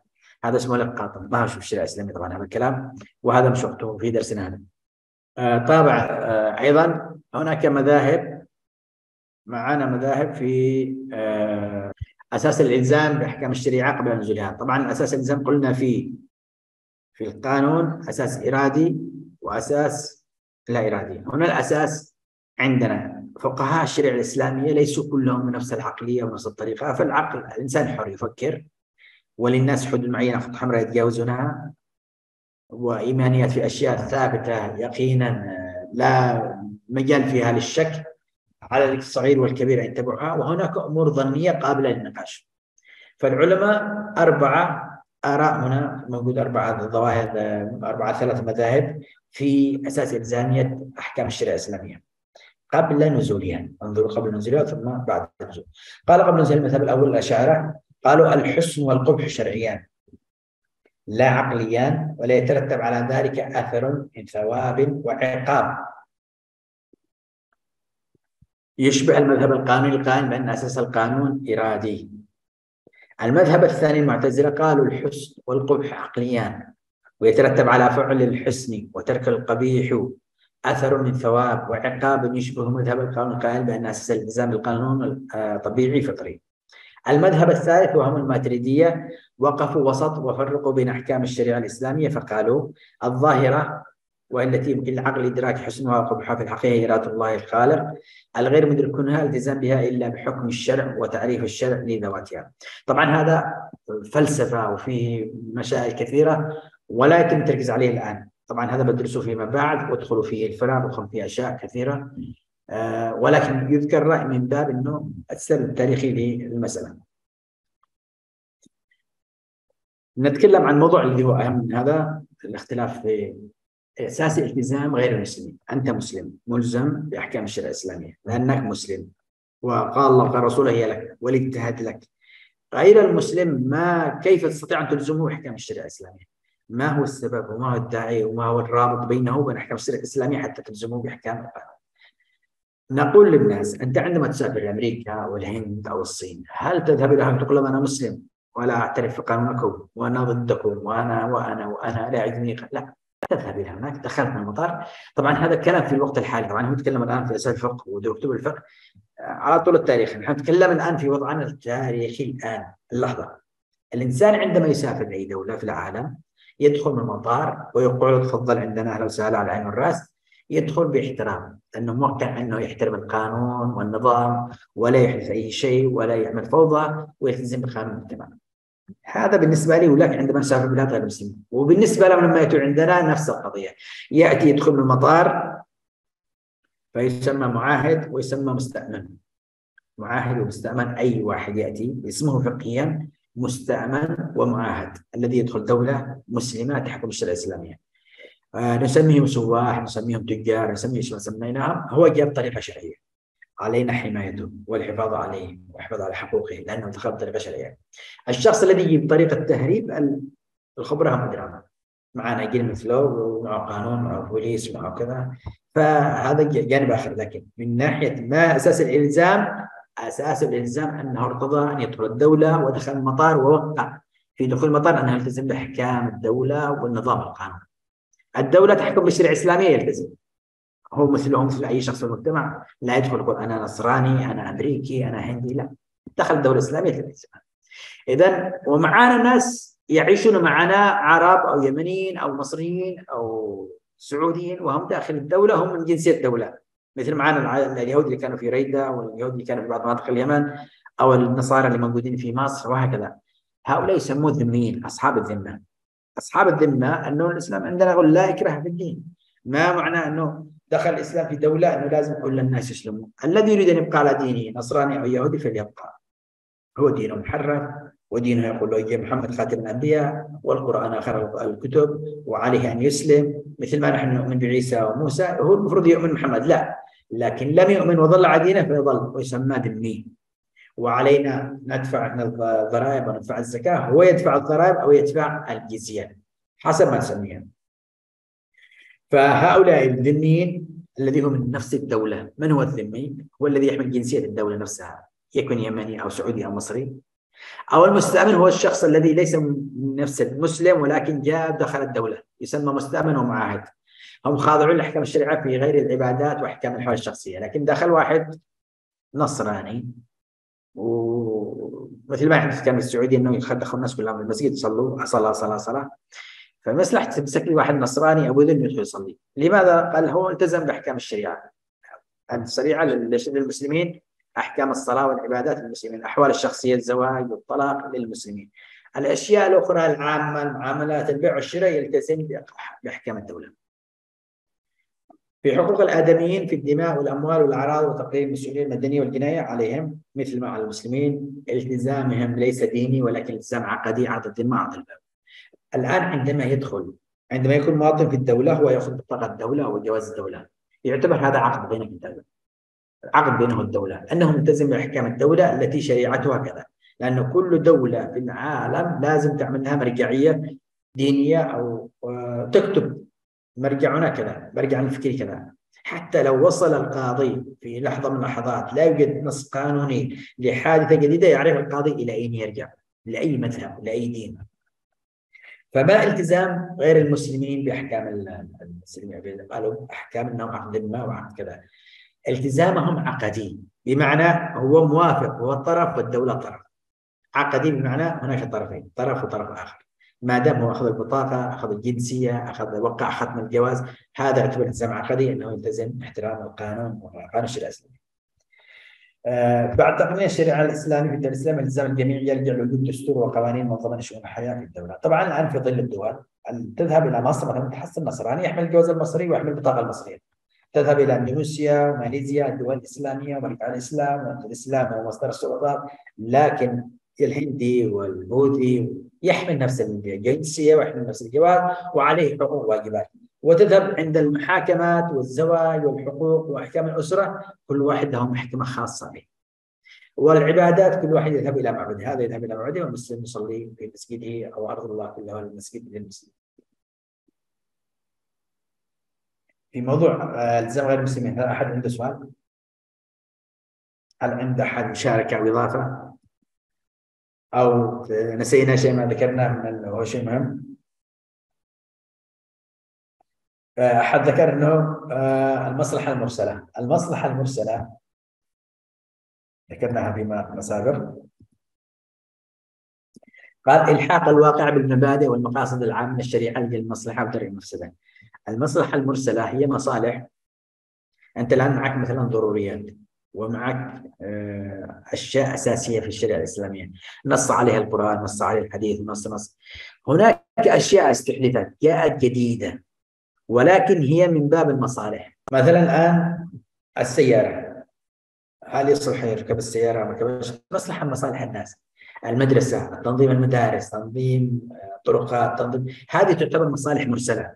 صح من واجبات لكن مصالح تخدم الناس تيسر للناس المعيشة تيسر للناس الحياة السير بالطرقات. المصالح المرسلة بمعنى آه، ليست مقيدة بنص لا نص شرعي ولكن هي من باب آه، تيسير للناس. الآن هذا كله مقدمة ما دخلنا إلى كلمة تاريخ القانون. تكلمنا تكلمنا هذا الكلام كله لم نصل إلى تاريخ القانون. فيما ذكرنا سابقا هل أحد عنده شيء؟ تفضل. فأده يذكر يذكر في الأسئلة. لا مشكلة طبعا بالنسبة للمذاهب المذاهب اللي ذكرناها في المذهب الثالث المذهب الثالث قال الماتريدية وقفوا وسط وفرقوا بين أحكام الشريعة الإسلامية. فقالوا الظاهرة والتي يمكن للعقل إدراك حسنها وقبحها في الحقيقة هي إرادة الله الخالق هي إرادة الله الخالق. الغير مدركة كونها التزام بها آه، بحكم الشرع وتعريف الشرع لذواتها. بمعنى أنه الشيء الذي الذي أدركت آه، الحكمة منه خلاص تمشي عليه. الشيء الذي لم تدرك الحكمة عليه فتغمض عينك وتمشي لأنه هذا أمر الله وهي من عند الله عز وجل. الخلاصة هكذا. يعني ليس كل شيء أن تدرك الحكمة منه. ليس كل شيء ضروري أن تعرف ما هي الحكمة. ما هي الحكمة من صلاة الظهر؟ أربع وصلاة الفجر في ركعتان؟ لا تعرف. أنت تؤمن بها خلاص جاءت هكذا. ليس ضروري أن نفسر كل شيء وسببه وما وما. ليس لا يجوز للمسيحيين في الدولة الإسلامية بيع اللحوم الخنزير لا يجوز. لكن بينهم البين عادي لكن لا يبيع للمسلمين لابد أن يبيع ويعمل لوحة يقول هذا لحم خنزير مثل ما يحصل في ماليزيا في أندونيسيا نعم. اشتبه الدولتين لا أعرف دول أخرى. أي مطعم يبيع أشياء غير حلال يكتب مطعم حلال أو غير حلال. أي منتجات في السوق مكتوب فيها علامة الحلال يعني هذا شرعي. ذبح على الطريقة الإسلامية أكل نصراني. شيء مخالف للشريعة يكون أكل بوذيين أو ليس مذبح على الشريعة يوضح في في كذا. فلحم الخنزير يجوز البيع لغير بس يوضح ويكتب في المحل إن هذا لحم خنزير. لا يصح بيعه للمسلمين لكن واحد يبيع لحم خنزير بشميلة هذا جنان. لا نبيع. لا لكن في دولة فيها نصارى فيها أكل خنزير ما تقدر تبيعهم مدلول مصطلحات التاريخ والحضارة؟ التاريخ لغة غاية الشيء ووقته الذي ينتهي إليه وبمعنى التأخير وكذا بمعنى إثبات الشيء. طبعا هذا لما تتكلم عن لغة يحفظ. لا تسأل لماذا ولماذا هكذا. اللغة هكذا هو مرجع القاموس ترجع للقواميس قالوا هكذا. ما هو التاريخ؟ قالوا غاية الشيء ووقته الذي ينتهي إليه. بمعنى التأخير التاريخ التأخير. كذا بمعنى إثبات الشيء. التاريخ تثبت له زمان ومكان واقع هذه تثبت طبعا. التاريخ اصطلاحا علم يتضمن ذكر الوقائع والأحداث الجارية في الكون وأوقاتها وأسبابها الناتجة عنها. التاريخ هكذا. يذكر المرحلة من هم كانوا عايشين وكيف كانوا عايشين تذكر.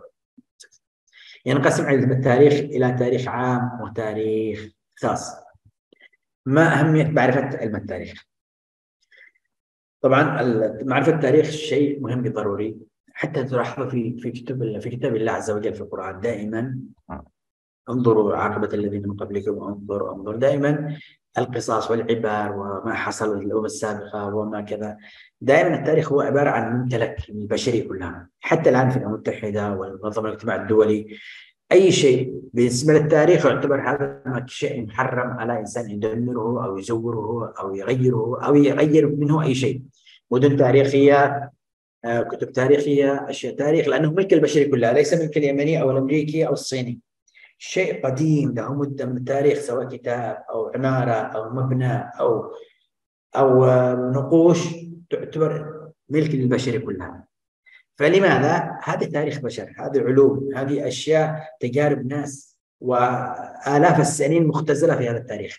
فالناس يستفيدون من معرفة التاريخ حتى تعرف ماذا عمل الناس وماذا سبب آه، نهضتهم وسبب آه، انتكاستهم وسبب النصر وسبب الهزيمة كيف كانوا يعيشون كيف كانوا يتعاملوا مع الحياة كيف ينظروا للحياة.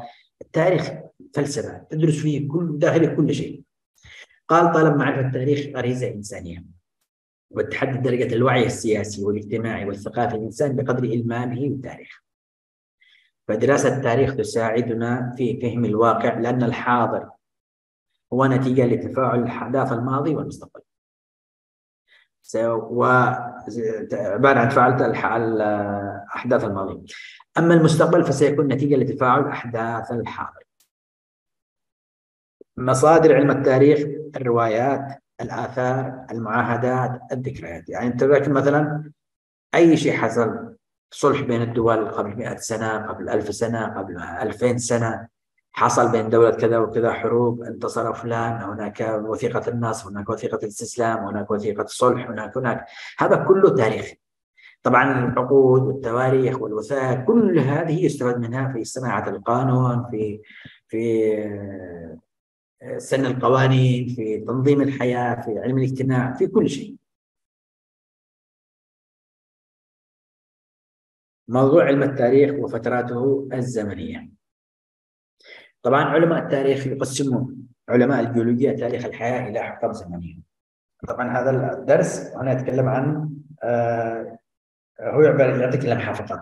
لكن هو الذي يهمنا فيما بعد ندخل نتكلم بعدين ما هو القانون مرجعية القوانين ونظرية القوانين التي يعيشها الناس الآن.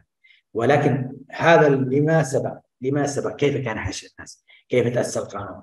طبعا عندما تتكلم عن الحقب التاريخية وعن تاريخ القانون لا ما يدرس عندي كمسلم غير ما يدرس عند الفرنسي ما يدرس عند الهندي. كل واحد يدرس بحسب مرجعيته الفكرية. أنا كمسلم لا أؤمن بكثير من هذا الكلام والكلام يخالف المنطق والعقل يخالف ديني ويخالف عقلي. عندما يقول أساس الإنسان دود أساس الإنسان طبيعة أساس الإنسان قرد أساس هذا الكلام لا يدخل في عقلي. أنا أعرف أن أساسي أن أبونا آدم وأمنا حواء وتزاوجوا ثم جينا. هذا كمسلم. وانتهى الموضوع. الخرطقات الأخرى والنظريات الأخرى على عيني وراسي تفضل هذه نظريتكم. لكن كمسلم أنا عندي نظريتي أن الله خلقني هكذا.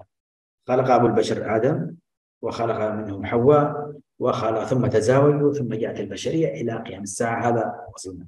لكن يتكلم رجل آخر أو علم آخر أو ديانة أخرى أو مذاهب غير المسلمين كل الناس لهم مذهبهم ولهم رأيهم في في هذه الهرطقات التاريخية لأن أشياء أصلا غير مثبتة. هي عبارة عن هواجس وتوقعات وليست أشياء مضمونة 100% ولكن حادثة إلى جنب حادثة إلى جنب واقعة تؤيد بعضها البعض ثم يوصل الناس إلى نتيجة أنه خلاص نسجل بها الطريقة المعينة. بتتضافر الأحداث. اولا الحقب الزمنية.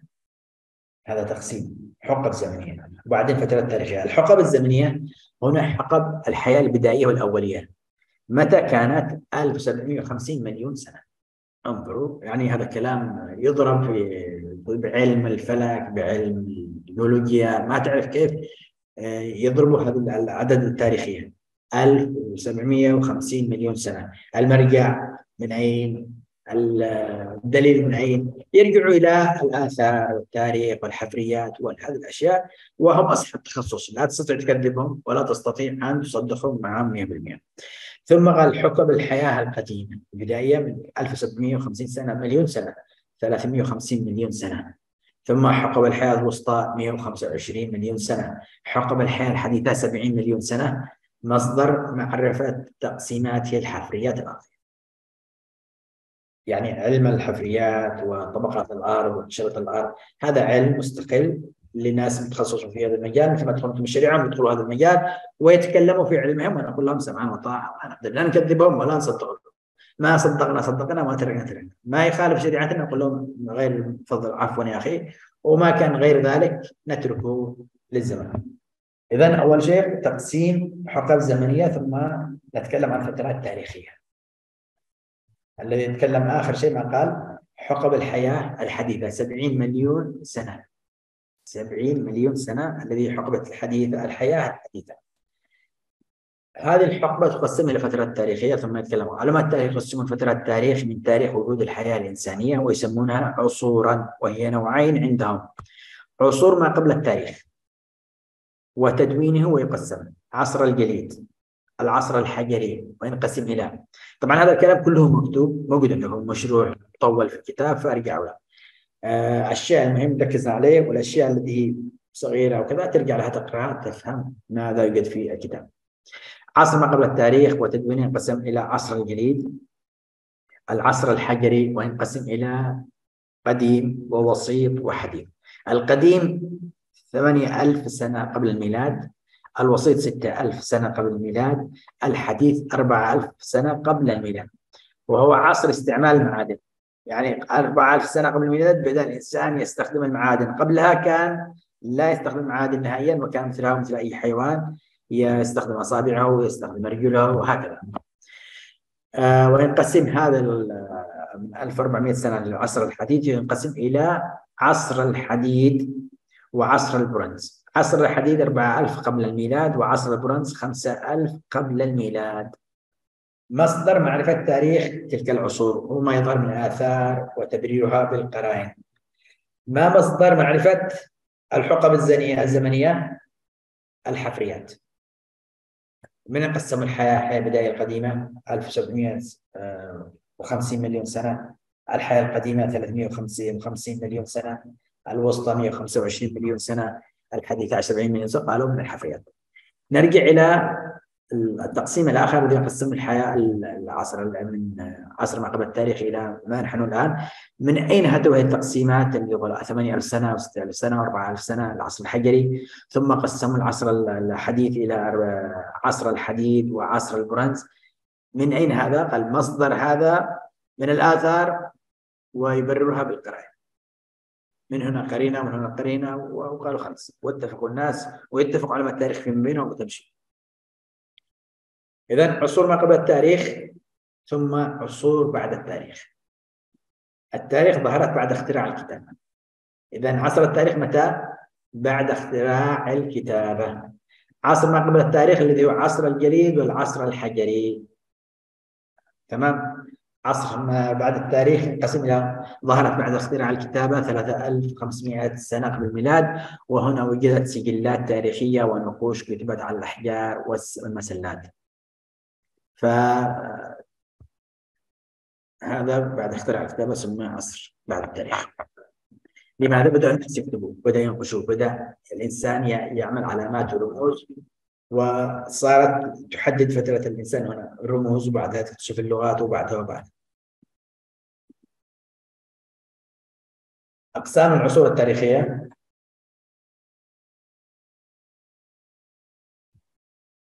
العصر التاريخي ينقسم إلى أقسام عصر قديم ووسط وحديث.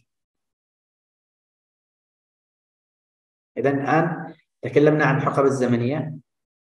ثم تكلمنا عن عصر ما قبل التاريخ ثم عصر ما بعد التاريخ. عصر ما بعد التاريخ كيف نقسمه؟ يقسم هكذا أقسام فترة التاريخ. علماء التاريخ يقسمون فترة التاريخ من تاريخ وجود الحياة الإنسانية ويسمونها عصورا. إذا علماء التاريخ يقسمون فترة التاريخ من تاريخ وجود الحياة الإنسانية. واحد. يسمونها عصورا. اثنين. وهي على نوعين ثلاث هكذا تحفظ بهذه الطريقة. علماء التاريخ يقسمون فترة التاريخ من تاريخ وجود الحياة الإنسانية ويسمونها ماذا؟ عصورا. الحقب الزمنية يسموها حقب زمنية الذي 300 مليون 17 مليون هكذا. المغري في ملايين. لكن هنا يبدأ التسجيل ويبدأ الحفظ وتهتم بهذا الكلام هذا علم التاريخ. الحقب الزمنية هذا ليس قانون ولا تاريخ هذا يرجع لعلم الجيولوجيا والأشياء الأخرى. أقسام التاريخ تبدأ من هنا اهتمام علماء التاريخ قسموا فترة التاريخ من تاريخ وجود الإنسانية. الحياة الإنسانية يسمونها عصورا وهي نوعين مثلا لو جاء لك اختبار قال علماء التاريخ قسموا فترة التاريخ من تاريخ وجود الحياة الإنسانية ويسمونها حقب زمنية. غلط. يسمونها عصور. والعصور نوعين. عصور ما قبل التاريخ وعصور بعد التاريخ. عندما ندخل الآن أقسام العصور التاريخية تقسم إلى ثلاثة أقسام العصر القديم والعصر البسيط والعصر الحديث.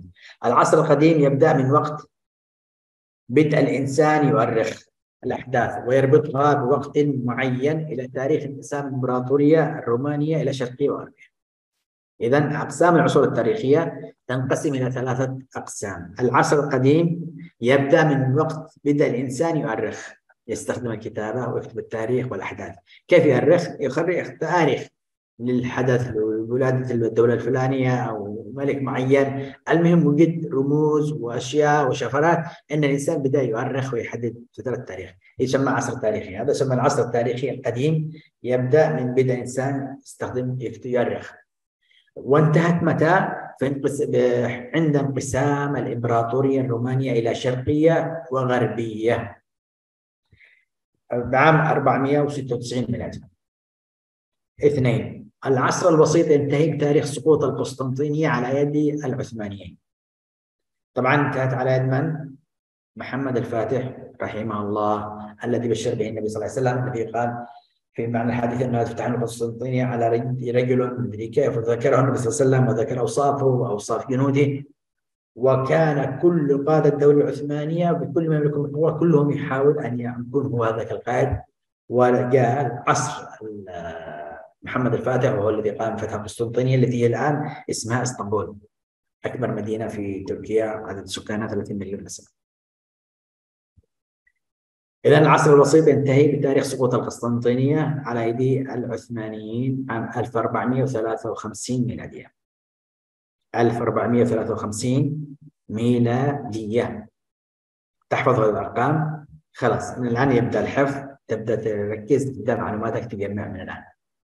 العصر القديم بدأ من تاريخ كتابة الإنسان بالتاريخ انتهى ب 476 العصر الوسيط ينتهي بسقوط الدولة القسطنطينية على ايدي العثمانيين طبعا انقسمت الإمبراطورية إلى شرقية وغربية. الشرقية عاصمتها القسطنطينية والغربية عاصمتها روما.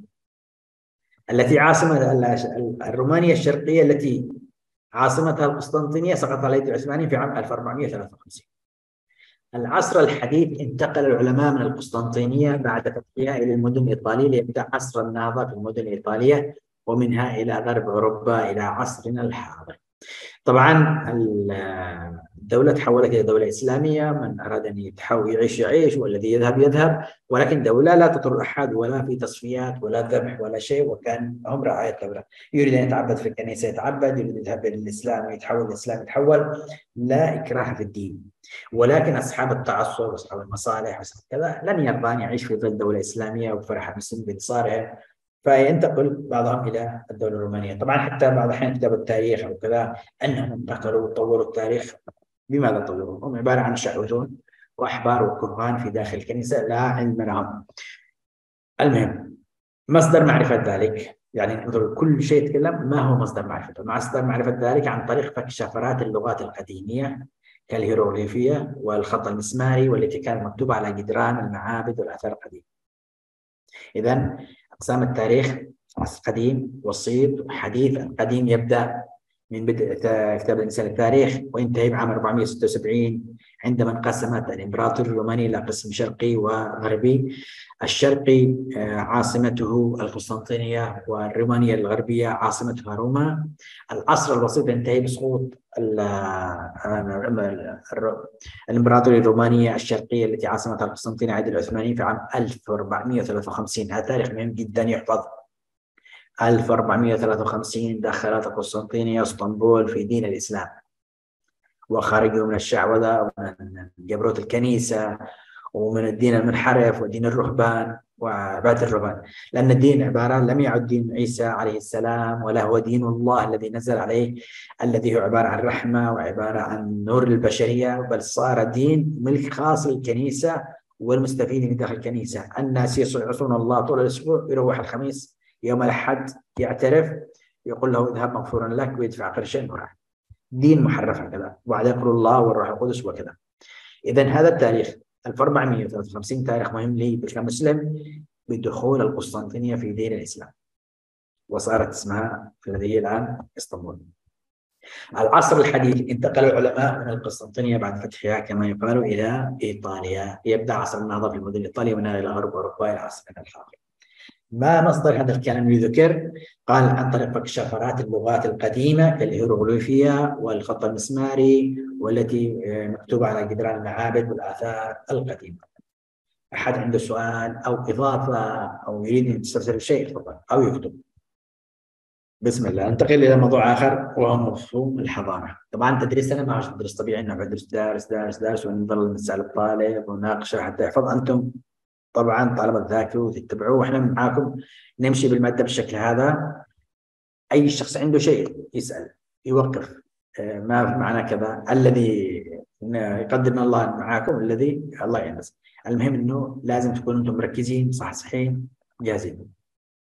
مفهوم الحضارة لغة الإقامة في الحضر الحاضر والبادية. الحضر والبادية. المدينة والمكان المتطور اللي فيه الماء وفيه السوق وفيه الناس وفيه المستشفى يسمى الحضر. والبادية عندما يكون هناك الغنم والبقر وناس الجبل باقي الطرقات ولا تجمع الناس ويعيش الناس كأفراد أو أسر قليلة جدا.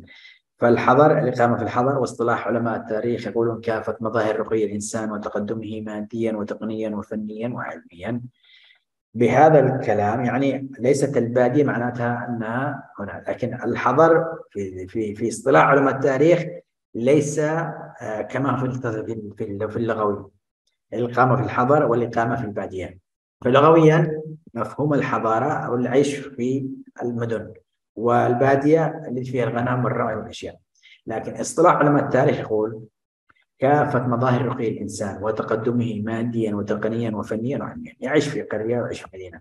يعيش في دولة فقيرة فيها من 30 40 مليون ويعيشون على أبسط أساليب الحياة أو يعيش في قرية في رأس الجبل في دولة متقدمة في كل وسائل الراحة. إذا الحضارة على حسب مظاهر رقي الإنسان وتقدمه ماديا وتقنيا وفنيا وعلميا وليس كالمصطلح اللغوي التي تدل على القرية والمدينة. فرق بين المعنى الاصطلاحي والمعنى اللغوي. حضارة الشرق طبعا البشر كل شيء كل أمة لها حضارة. حضارة الصين حضارة العرب حضارة الشرق الأوسط حضارة المسلمين حضارة الهنود. كل أمة لها تاريخ والتاريخ لا ينسى وكل إنسان هذا بالنسبة لنا كبشر نسجل. الحضارة الفلانية عملت الحضارة الفلانية عملت فلان عملت فلان. إحنا كتاريخ ويأتي يوم القيامة كل واحد معه سجلة وكل أمة معها سجلها التاريخ هكذا على مستوى البشر الإنسان العاجز البسيط الذي لا ليست الأرض كلها ينظر كيف يسجل ويحاول يصنع التاريخ ويحاول يسجل صغيرة وكبيرة يعني كل شيء مسجل حضارات الشرق الحضارة القديمة في الوطن العربي مصر العراق الشام اليمن. حضارة مصر القديمة حضارة وادي النيل. تعرف بالحضارة الفرعونية وتبدأ من تاريخ تحقيق الوحدة السياسية لمصر على يد الملك مينا. طبعا هذه الأشياء عند المصريين حافظ لها غيب. عندهم شيء هوس في درس التاريخ وأيضا اهتموا بدرس التاريخ.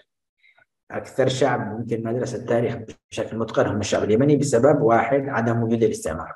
طبعا سبب دراسة التاريخ في مصر والعراق والشام هو المستعمر هو الذي جاء يبحث وينقب في داخل الأرض يبحث عن العلم الكنوز ليس الكنوز الذهب فقط كنوز التاريخ. ماذا تحت التراب مدفون؟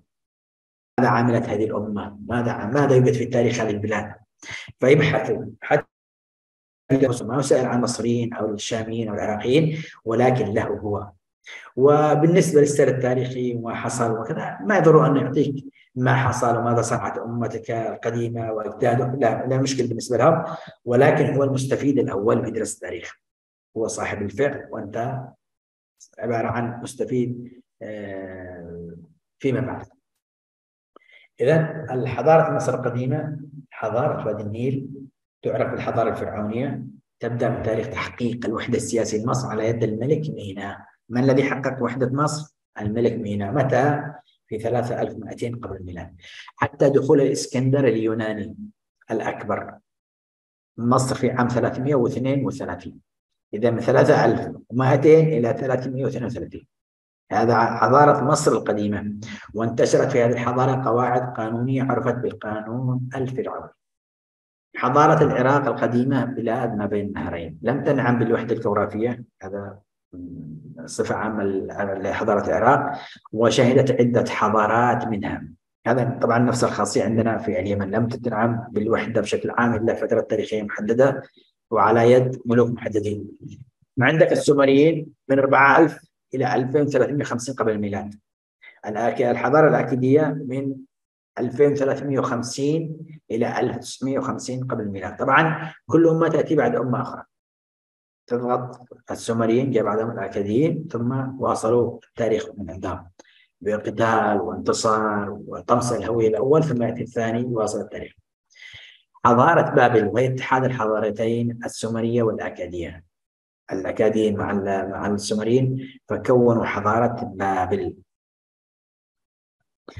آه، بدأت من 1950 إلى 1531 إذا الحضارة السومرية كانت 4000 إلى 2350 وثم حضارة الحضارة الأكادية من 2350 إلى 1950 الحضارتين اجتمعت في حضارة بابل وهي اتحاد الحضارتين السومرية والأكادية والتي استمرت من 1950 إلى 1531 قبل الميلاد.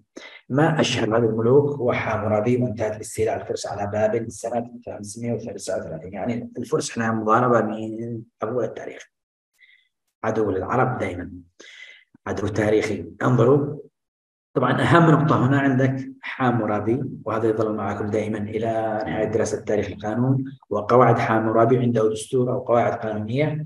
ليست قانون جنائي قانون تجاري هو قواعد قانونية. واحد اثنين ثلاثة تقريبا معه 103 قاعدة أو 300 قاعدة قانونية تسمى بقانون حامورابي وهي من أوائل القانون أو أوائل مدونات القانون في تاريخ البشرية. آه، طبعا انتهت حضارة بابل باستيلاء الفرس في عام 539 قبل الميلاد. مثل ما انتهت العراق بعام متى؟ 2003 بدخول إيران وأمريكا إلى داخل العراق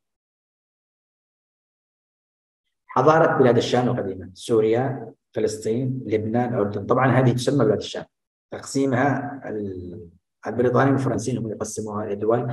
الوطن العربي كله الوطن الإسلامي كله كان يحكم بدولة واحدة. بلاد الشام بلاد اليمن والحجاز هكذا كان يقسم الوطن العربي. ومغرب الدول العربية فيما بعد مصر. مصر والسودان كانت دولة واحدة ودول المغرب كانت دولة واحدة والشام كانت دولة واحدة. أو يحكمها والي طبعا عندما يحكم والي أو حاكم منطقة معينة لا يوجد حدود محددة بالملي أو شك أو نقاط لا. من تقوى غلب. مرة يحكم العراق و... مع سوريا حاكم واحد مرة تحكم العراق لحالها وسوريا لحالها مرة تحكم الجزيرة العربية كاملة تحت حاكم على حسب قوة الدولة القائمة وعلى كل واحد وقوته. حضارة بلاد الشام القديمة هناك الكنعانيون والفينيقيون حضارات وثنية. ثم اليهود كحضارة دينية. وكلام طويل موجود ومفصل واضح في الكتاب. لم أضطر غيره خلاص موجود معكم ككلام واضح محتاج أنت نقدم فإذا حضارة بلاد الشام تنقسم إلى حضارتين حضارة دينية وحضارة وثنية. الحضارة الوثنية طبعا مثلهم مثل العراق ومثل مصر كلها حضارات وثنية. ثم آه اليهود كحضارة دينية في سوريا وفلسطين ولبنان والأردن. طبعا حتى هؤلاء موجودين في كل الدول. لكن بعض الأحيان التاريخ أو كتاب التاريخ يتأثروا بالمدارس والمراجع الفكرية يدرسوا فيها. معظم اللي اسسوا التاريخ واللي درسوا القانون كلهم درسوا في فرنسا أو في بريطانيا في الوطن العربي. حضارة اليمن القديم حافظ الله اليمن كل شهر.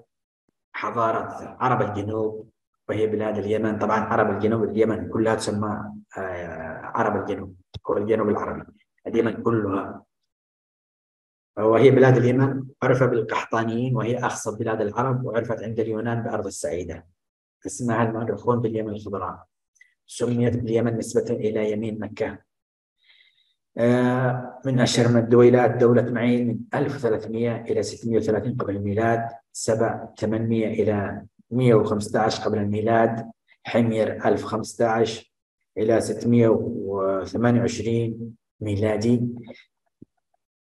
طبعا حمير احتل الأحباش إلى أن حررها سيف يزن بالاستعانة بالفرس. وظل حكمه إلى دخول اليمن الإسلام وأقر النبي صلى الله عليه وسلم بعدين على حكم اليمن بعد إسلامه. هذا مختصر حضارة اليمن.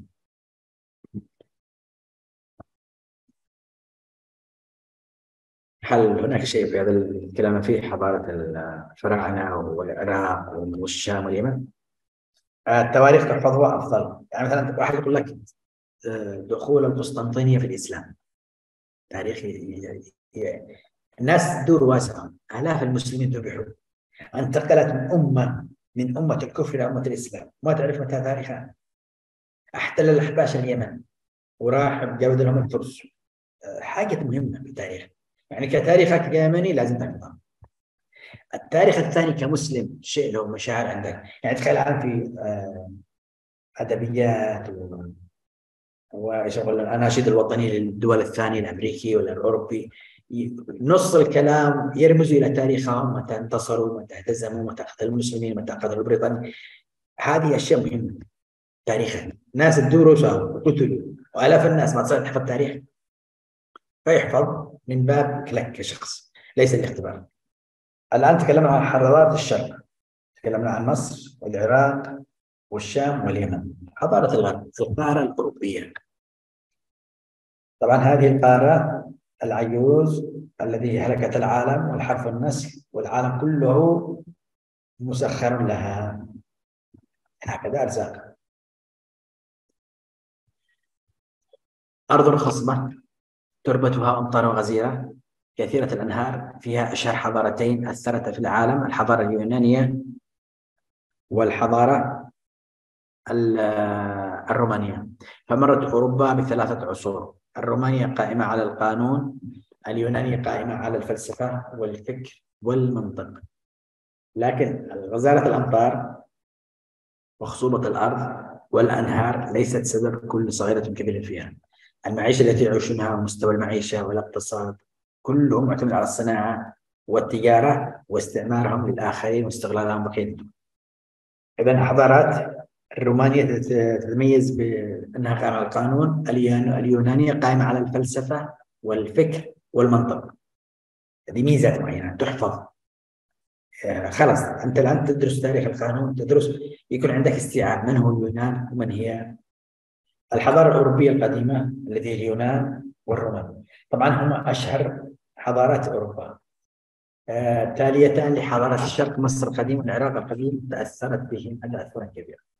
طبعا شوف هذه الحضارات. التاريخ دائما يعيد نفسه. هذه حضارات قديمة جاءت بعد حضارة الفراعنة وبلاد بابل وحضارة الشام وحضارة اليمن. جاءت بعد. وأخذت مكتسباتهم وما استفادوا منه وتوصلوا إليه من تطور وما توصلوا من اختراعات واستفادوا منها. وانطلقوا. الإنسان معلومة والتاريخ والآثار للبشرية كلها. هكذا حتى القوانين الدولية. ما يستطيع حاكم دولة يدمر قصر أو يدمر شيء من من التاريخ في دولته. هذه دولتي يريد عمل شارع ما يحق قصر يحق البشرية كلها ليس قصرك. فالتاريخ ملك البشرية كلها. وانظروا كيف الحضارات الشرق كلها يستفيد منها حضارة الغرب. وتسقط ويأتي عصر الظلام. وتأتي الحضارة الإسلامية في خاصة في العصر الوسيط عندما دخل القسطنطينية المسلمون وما بعده حوالي 300 أو 400 سنة ظل المسلمون هم في القمة وهم مصدر العلم والرقي والأخلاق والنظافة والقيم.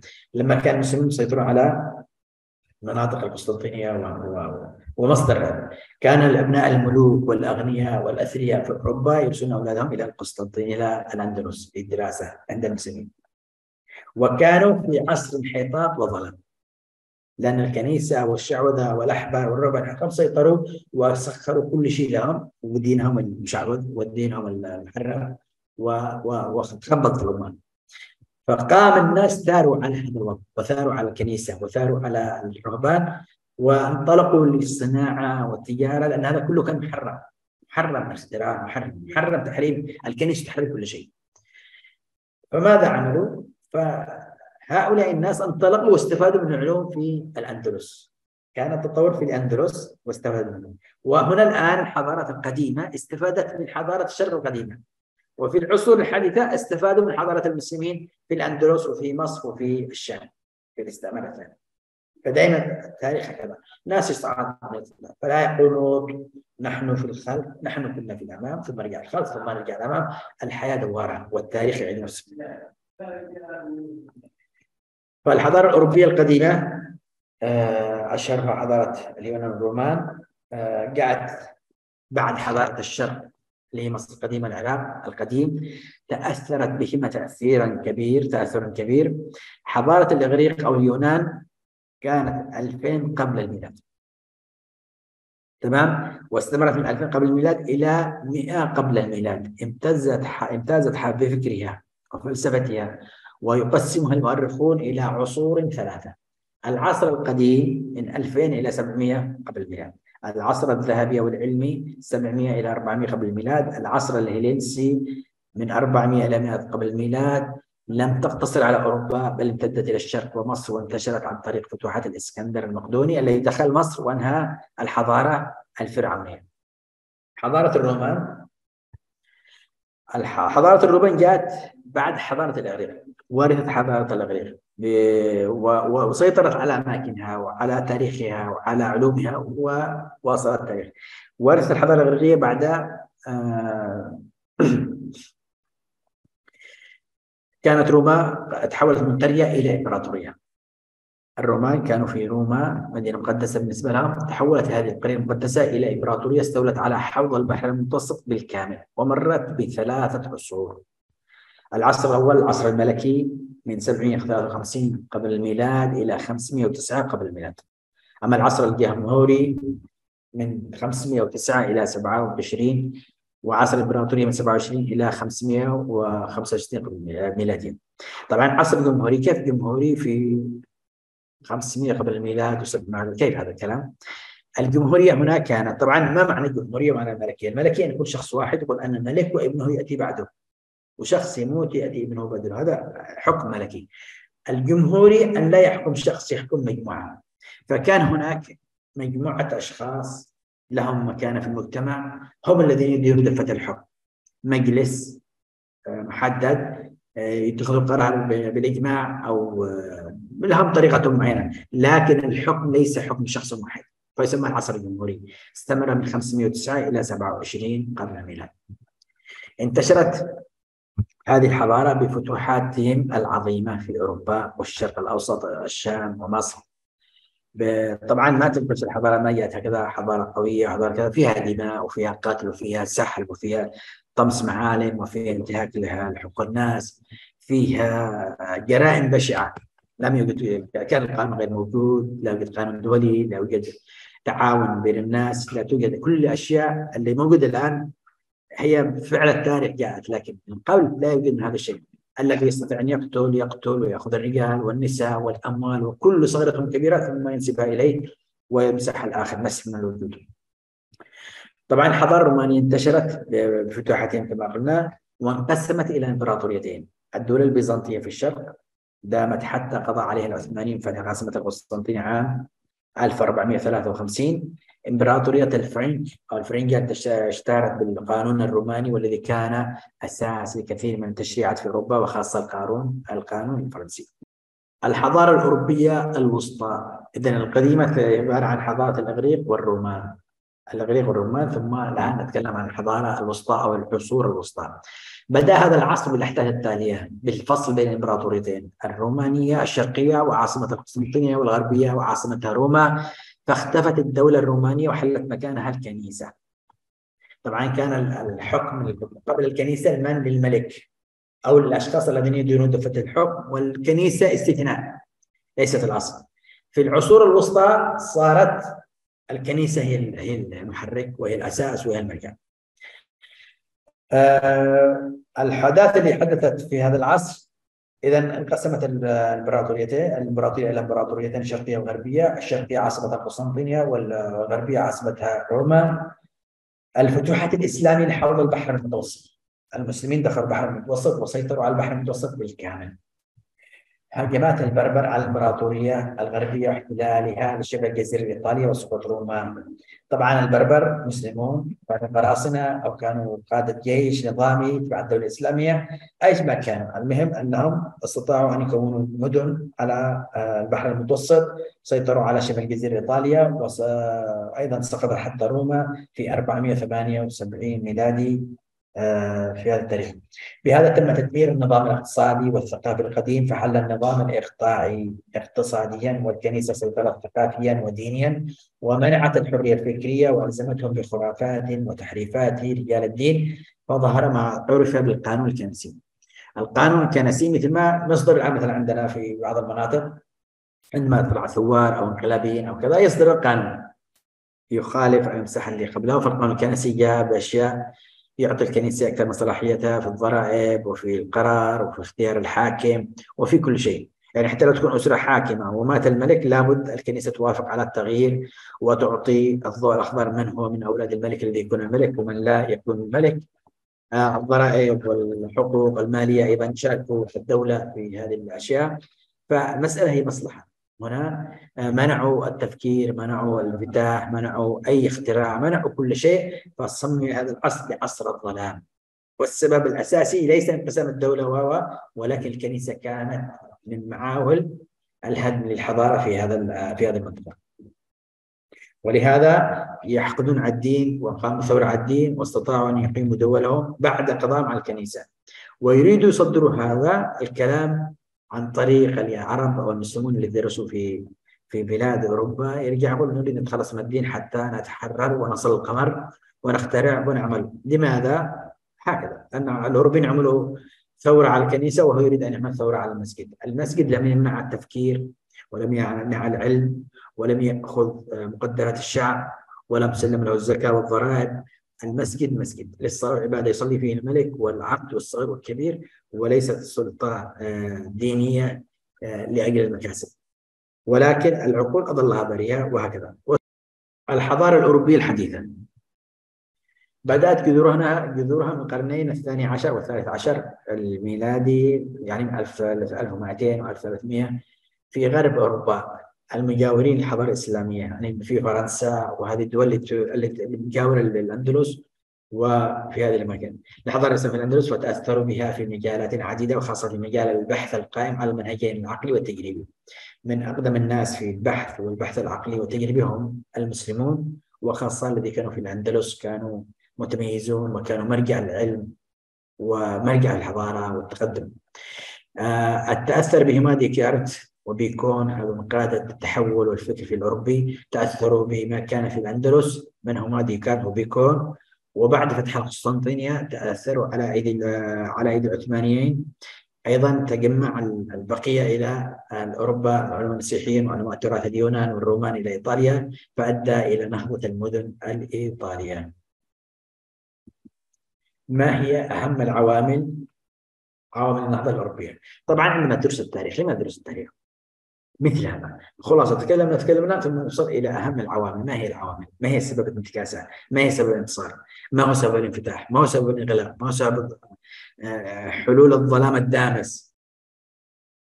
هذه الأشياء تدرس وتعلم وتمنهج وتعطى للأجيال حتى يستطيع الناس تلافي أخطاء السابقين ويعرفوا ما هي سبب مفاتيح النجاح وينطلقوا للحياة فهكذا ما هي هم عوامل النهضة الأوروبية؟ تريد أن تعمل حضارة في الحضارة الأوروبية تريد أن تصل القمر تريد أن تصنع قطار تريد تعمل تبحث ما هي عوامل النهضة الأوروبية. قال الأسباب هي استخدام المنهجية العقلانية التجريبية التي أخذوها من عند المسلمين واحد. إعادة اكتشاف التراث اليوناني الروماني. بسبب إنه جاء اجتمعوا كلهم في مكان واحد وبدأوا يدرسوا تاريخهم وسبب هزيمتهم كيف نعمل والمسلمين أخذوا علينا الأرض وبدأوا يدرسوا ويبحثوا عن سبب النصر. تحرر من الكنيسة وسلطانها وفصلها عن الدولة. قاموا قومة واحدة ضد الطغيان والكهنوت والتحريف والقضاء على المشعوذين ليس على الدين المسيحي على المشعوذين يعني الكنيسة كانت عبارة عن شعوذة أما الدين كدين فهو أصلا غير موجود ليس دين هو عبارة عن كلام وخزعبلات بني آدم حرفوا دينهم الإكتشافات الجغرافية. طبعا عندما ينطلق الناس ما دام يتحاربوا في مكان محدد ويظلوا هذه حقي وهذه أرضي ويقاتلوا لا توسعوا. فتخرجوا إلى دول أخرى وبدأوا اكتشاف العالم وبدأوا برحلات الاكتشاف للشرق والغرب. وهذه أعطتهم أسبقية في السيطرة على الأماكن اكتشاف الخيرات واكتشاف البشر فسيطروا على العالم من طريق هذه المداخل. من هنا؟ بحث تجريبي اكتشفت ترتيب اوراقهم قاموا بالكشوفات الاكتشافات الجغرافيه ثم اختراع الطباعة. يعني ليست امرا سهلا عند الناس بالطباعة والكتابة اللي هي تطوير كبير من التعليم وانتشار اختراع البارود للسيطرة على القوي هو الذي صاحب الكلمة وصاحب القرار هو الذي يمسك مقاليد الأمور فكانت البارود كقوة فتمت السيطرة على الطرق العالمية ومنابع الثروة والمواد الخام. فصاحب البارود وصاحب الرصاص لا يستطيع أن يواجه صاحب السيف والرمح والخيل. فساعد ذلك في وجود النهضة الصناعية العظيمة والنهضة الفكرية والقانون القائم على الديمقراطية وحقوق الإنسان. الحضارة الإسلامية. الدرس القادم إن شاء الله. انتهينا لحد الآن. هل عنده سؤال فيما طرح من سابق. ما زلتم معنا. القرب من مدخل الفقه وتاريخ الفقه ليس الدراسة والنظر من زاوية أخرى. أن تدرس هنا دراسة علم التاريخ انظر متى بدأت الحضارة متى انتهت نسب سقوطها ما كذا. ومتى والحضارات هذه. كله إحنا بندرس بندرس ثم ثم كيف بدأوا في اختراع القانون وتسوير وإدخال القانون كيف سر القانون هذا في الدولات ثم انتقل الدولة الأخرى. تاريخ القانون. يعني تاريخ هو موجود أصلا لكن دراسة مدخل دراسة القانون يعرفك بأساسيات القانون. يعرفك بأساسيات القانون. مصطلحات هامه آه، آمرة مجردة عامة غير عامة قانون دولي قانون محلي قانون أسرة. هذه المصطلحات الأساسية كلها تدرس في مدرسة مدخل دراسة القانون وهي تعتبر المادر بورد أو الأرضية المشتركة لكل القوانين. يعني بدرس القانون الجنائي وادرس القانون المدني وادرس كل القوانين طوال أربع سنوات. لكن المادة الأساس الأول هي مدخل مدخل دراسة القانون. دراسة تاريخ القانون هي ثقافة ثقافة لك كإنسان دخلت الجامعة يكون في فارق بينك وطالب الثانوية. يعني إنسان تقرأ هذه المادة يكون أنت إنسان عادي. يأخذ معلومات كثيرة جدا عن تاريخ القانون ويعرف ما معنى قانون معنى شعوب معنى تاريخ. وأنتم ركزوا على كم معلومات أخذناها في خلال ساعتين. وعاد إحنا ما نأخذ كل صغيرة كبيره ولا بحال لا يوجد وقت في دراسه كل صغيرة كبيره ولكن هكذا الطالب الجامعي لابد أن يقرأ عن نفسه. لابد أن يقرأ. نحن نعطيك المفتاح وأنت تقرأ. فإلى هنا انتهيت. من عنده سؤال؟ من عنده شيء؟ من عنده ملاحظة تفضلوا. اكتب تكلم دي الله الكتابة دي الله الكلام. فإحنا في نعمة. تكلموا كما تريدون. اللي عنده سؤال يكتب. آه قال سؤال إيش تنصحنا نقرا مصادر خارجيه تساعدنا في المادة؟ بالنسبة لمدخل دراسة القانون وتاريخ القانون اقرأوها فقط، اقرأوها فقط. هي تساعدكم لفهم فهم المواد الأخرى. اقرأها بشرب القراءة الصحيح هكذا بنعناع وبنفس منشرحة ومركز واقرأ. لا تحفظ ولا تهم الحفظ ولا تهم التواريخ اقرأ بنفس. وبعد القراءة سوف تجد نفسك فهمت كل صغيرة كبيرة وبقية القوانين سوف تدعمها هي مواد أساسي واضح واللي عنده سؤال أو عنده استفسار ممكن يتواصل معي عن طريق الإيميل. خلاص يعتبر كملنا الآن. شكرا. خلاص. تسلموا. نتواصل إن شاء الله. ويقرأوا لا في سؤال اكتبوا اكتبوا أسئلتكم اطرحوها في الخاص أو اطرحوها في العام أو تكلم. حتى يكون الدرس أكثر حيويه أكثر تستفيد من زميلك تستفيد من صاحبك. انتهى الدرس وسبحانك اللهم وبحمدك نشهد أن لا إله إلا أنت نستغفرك ونتوب إليك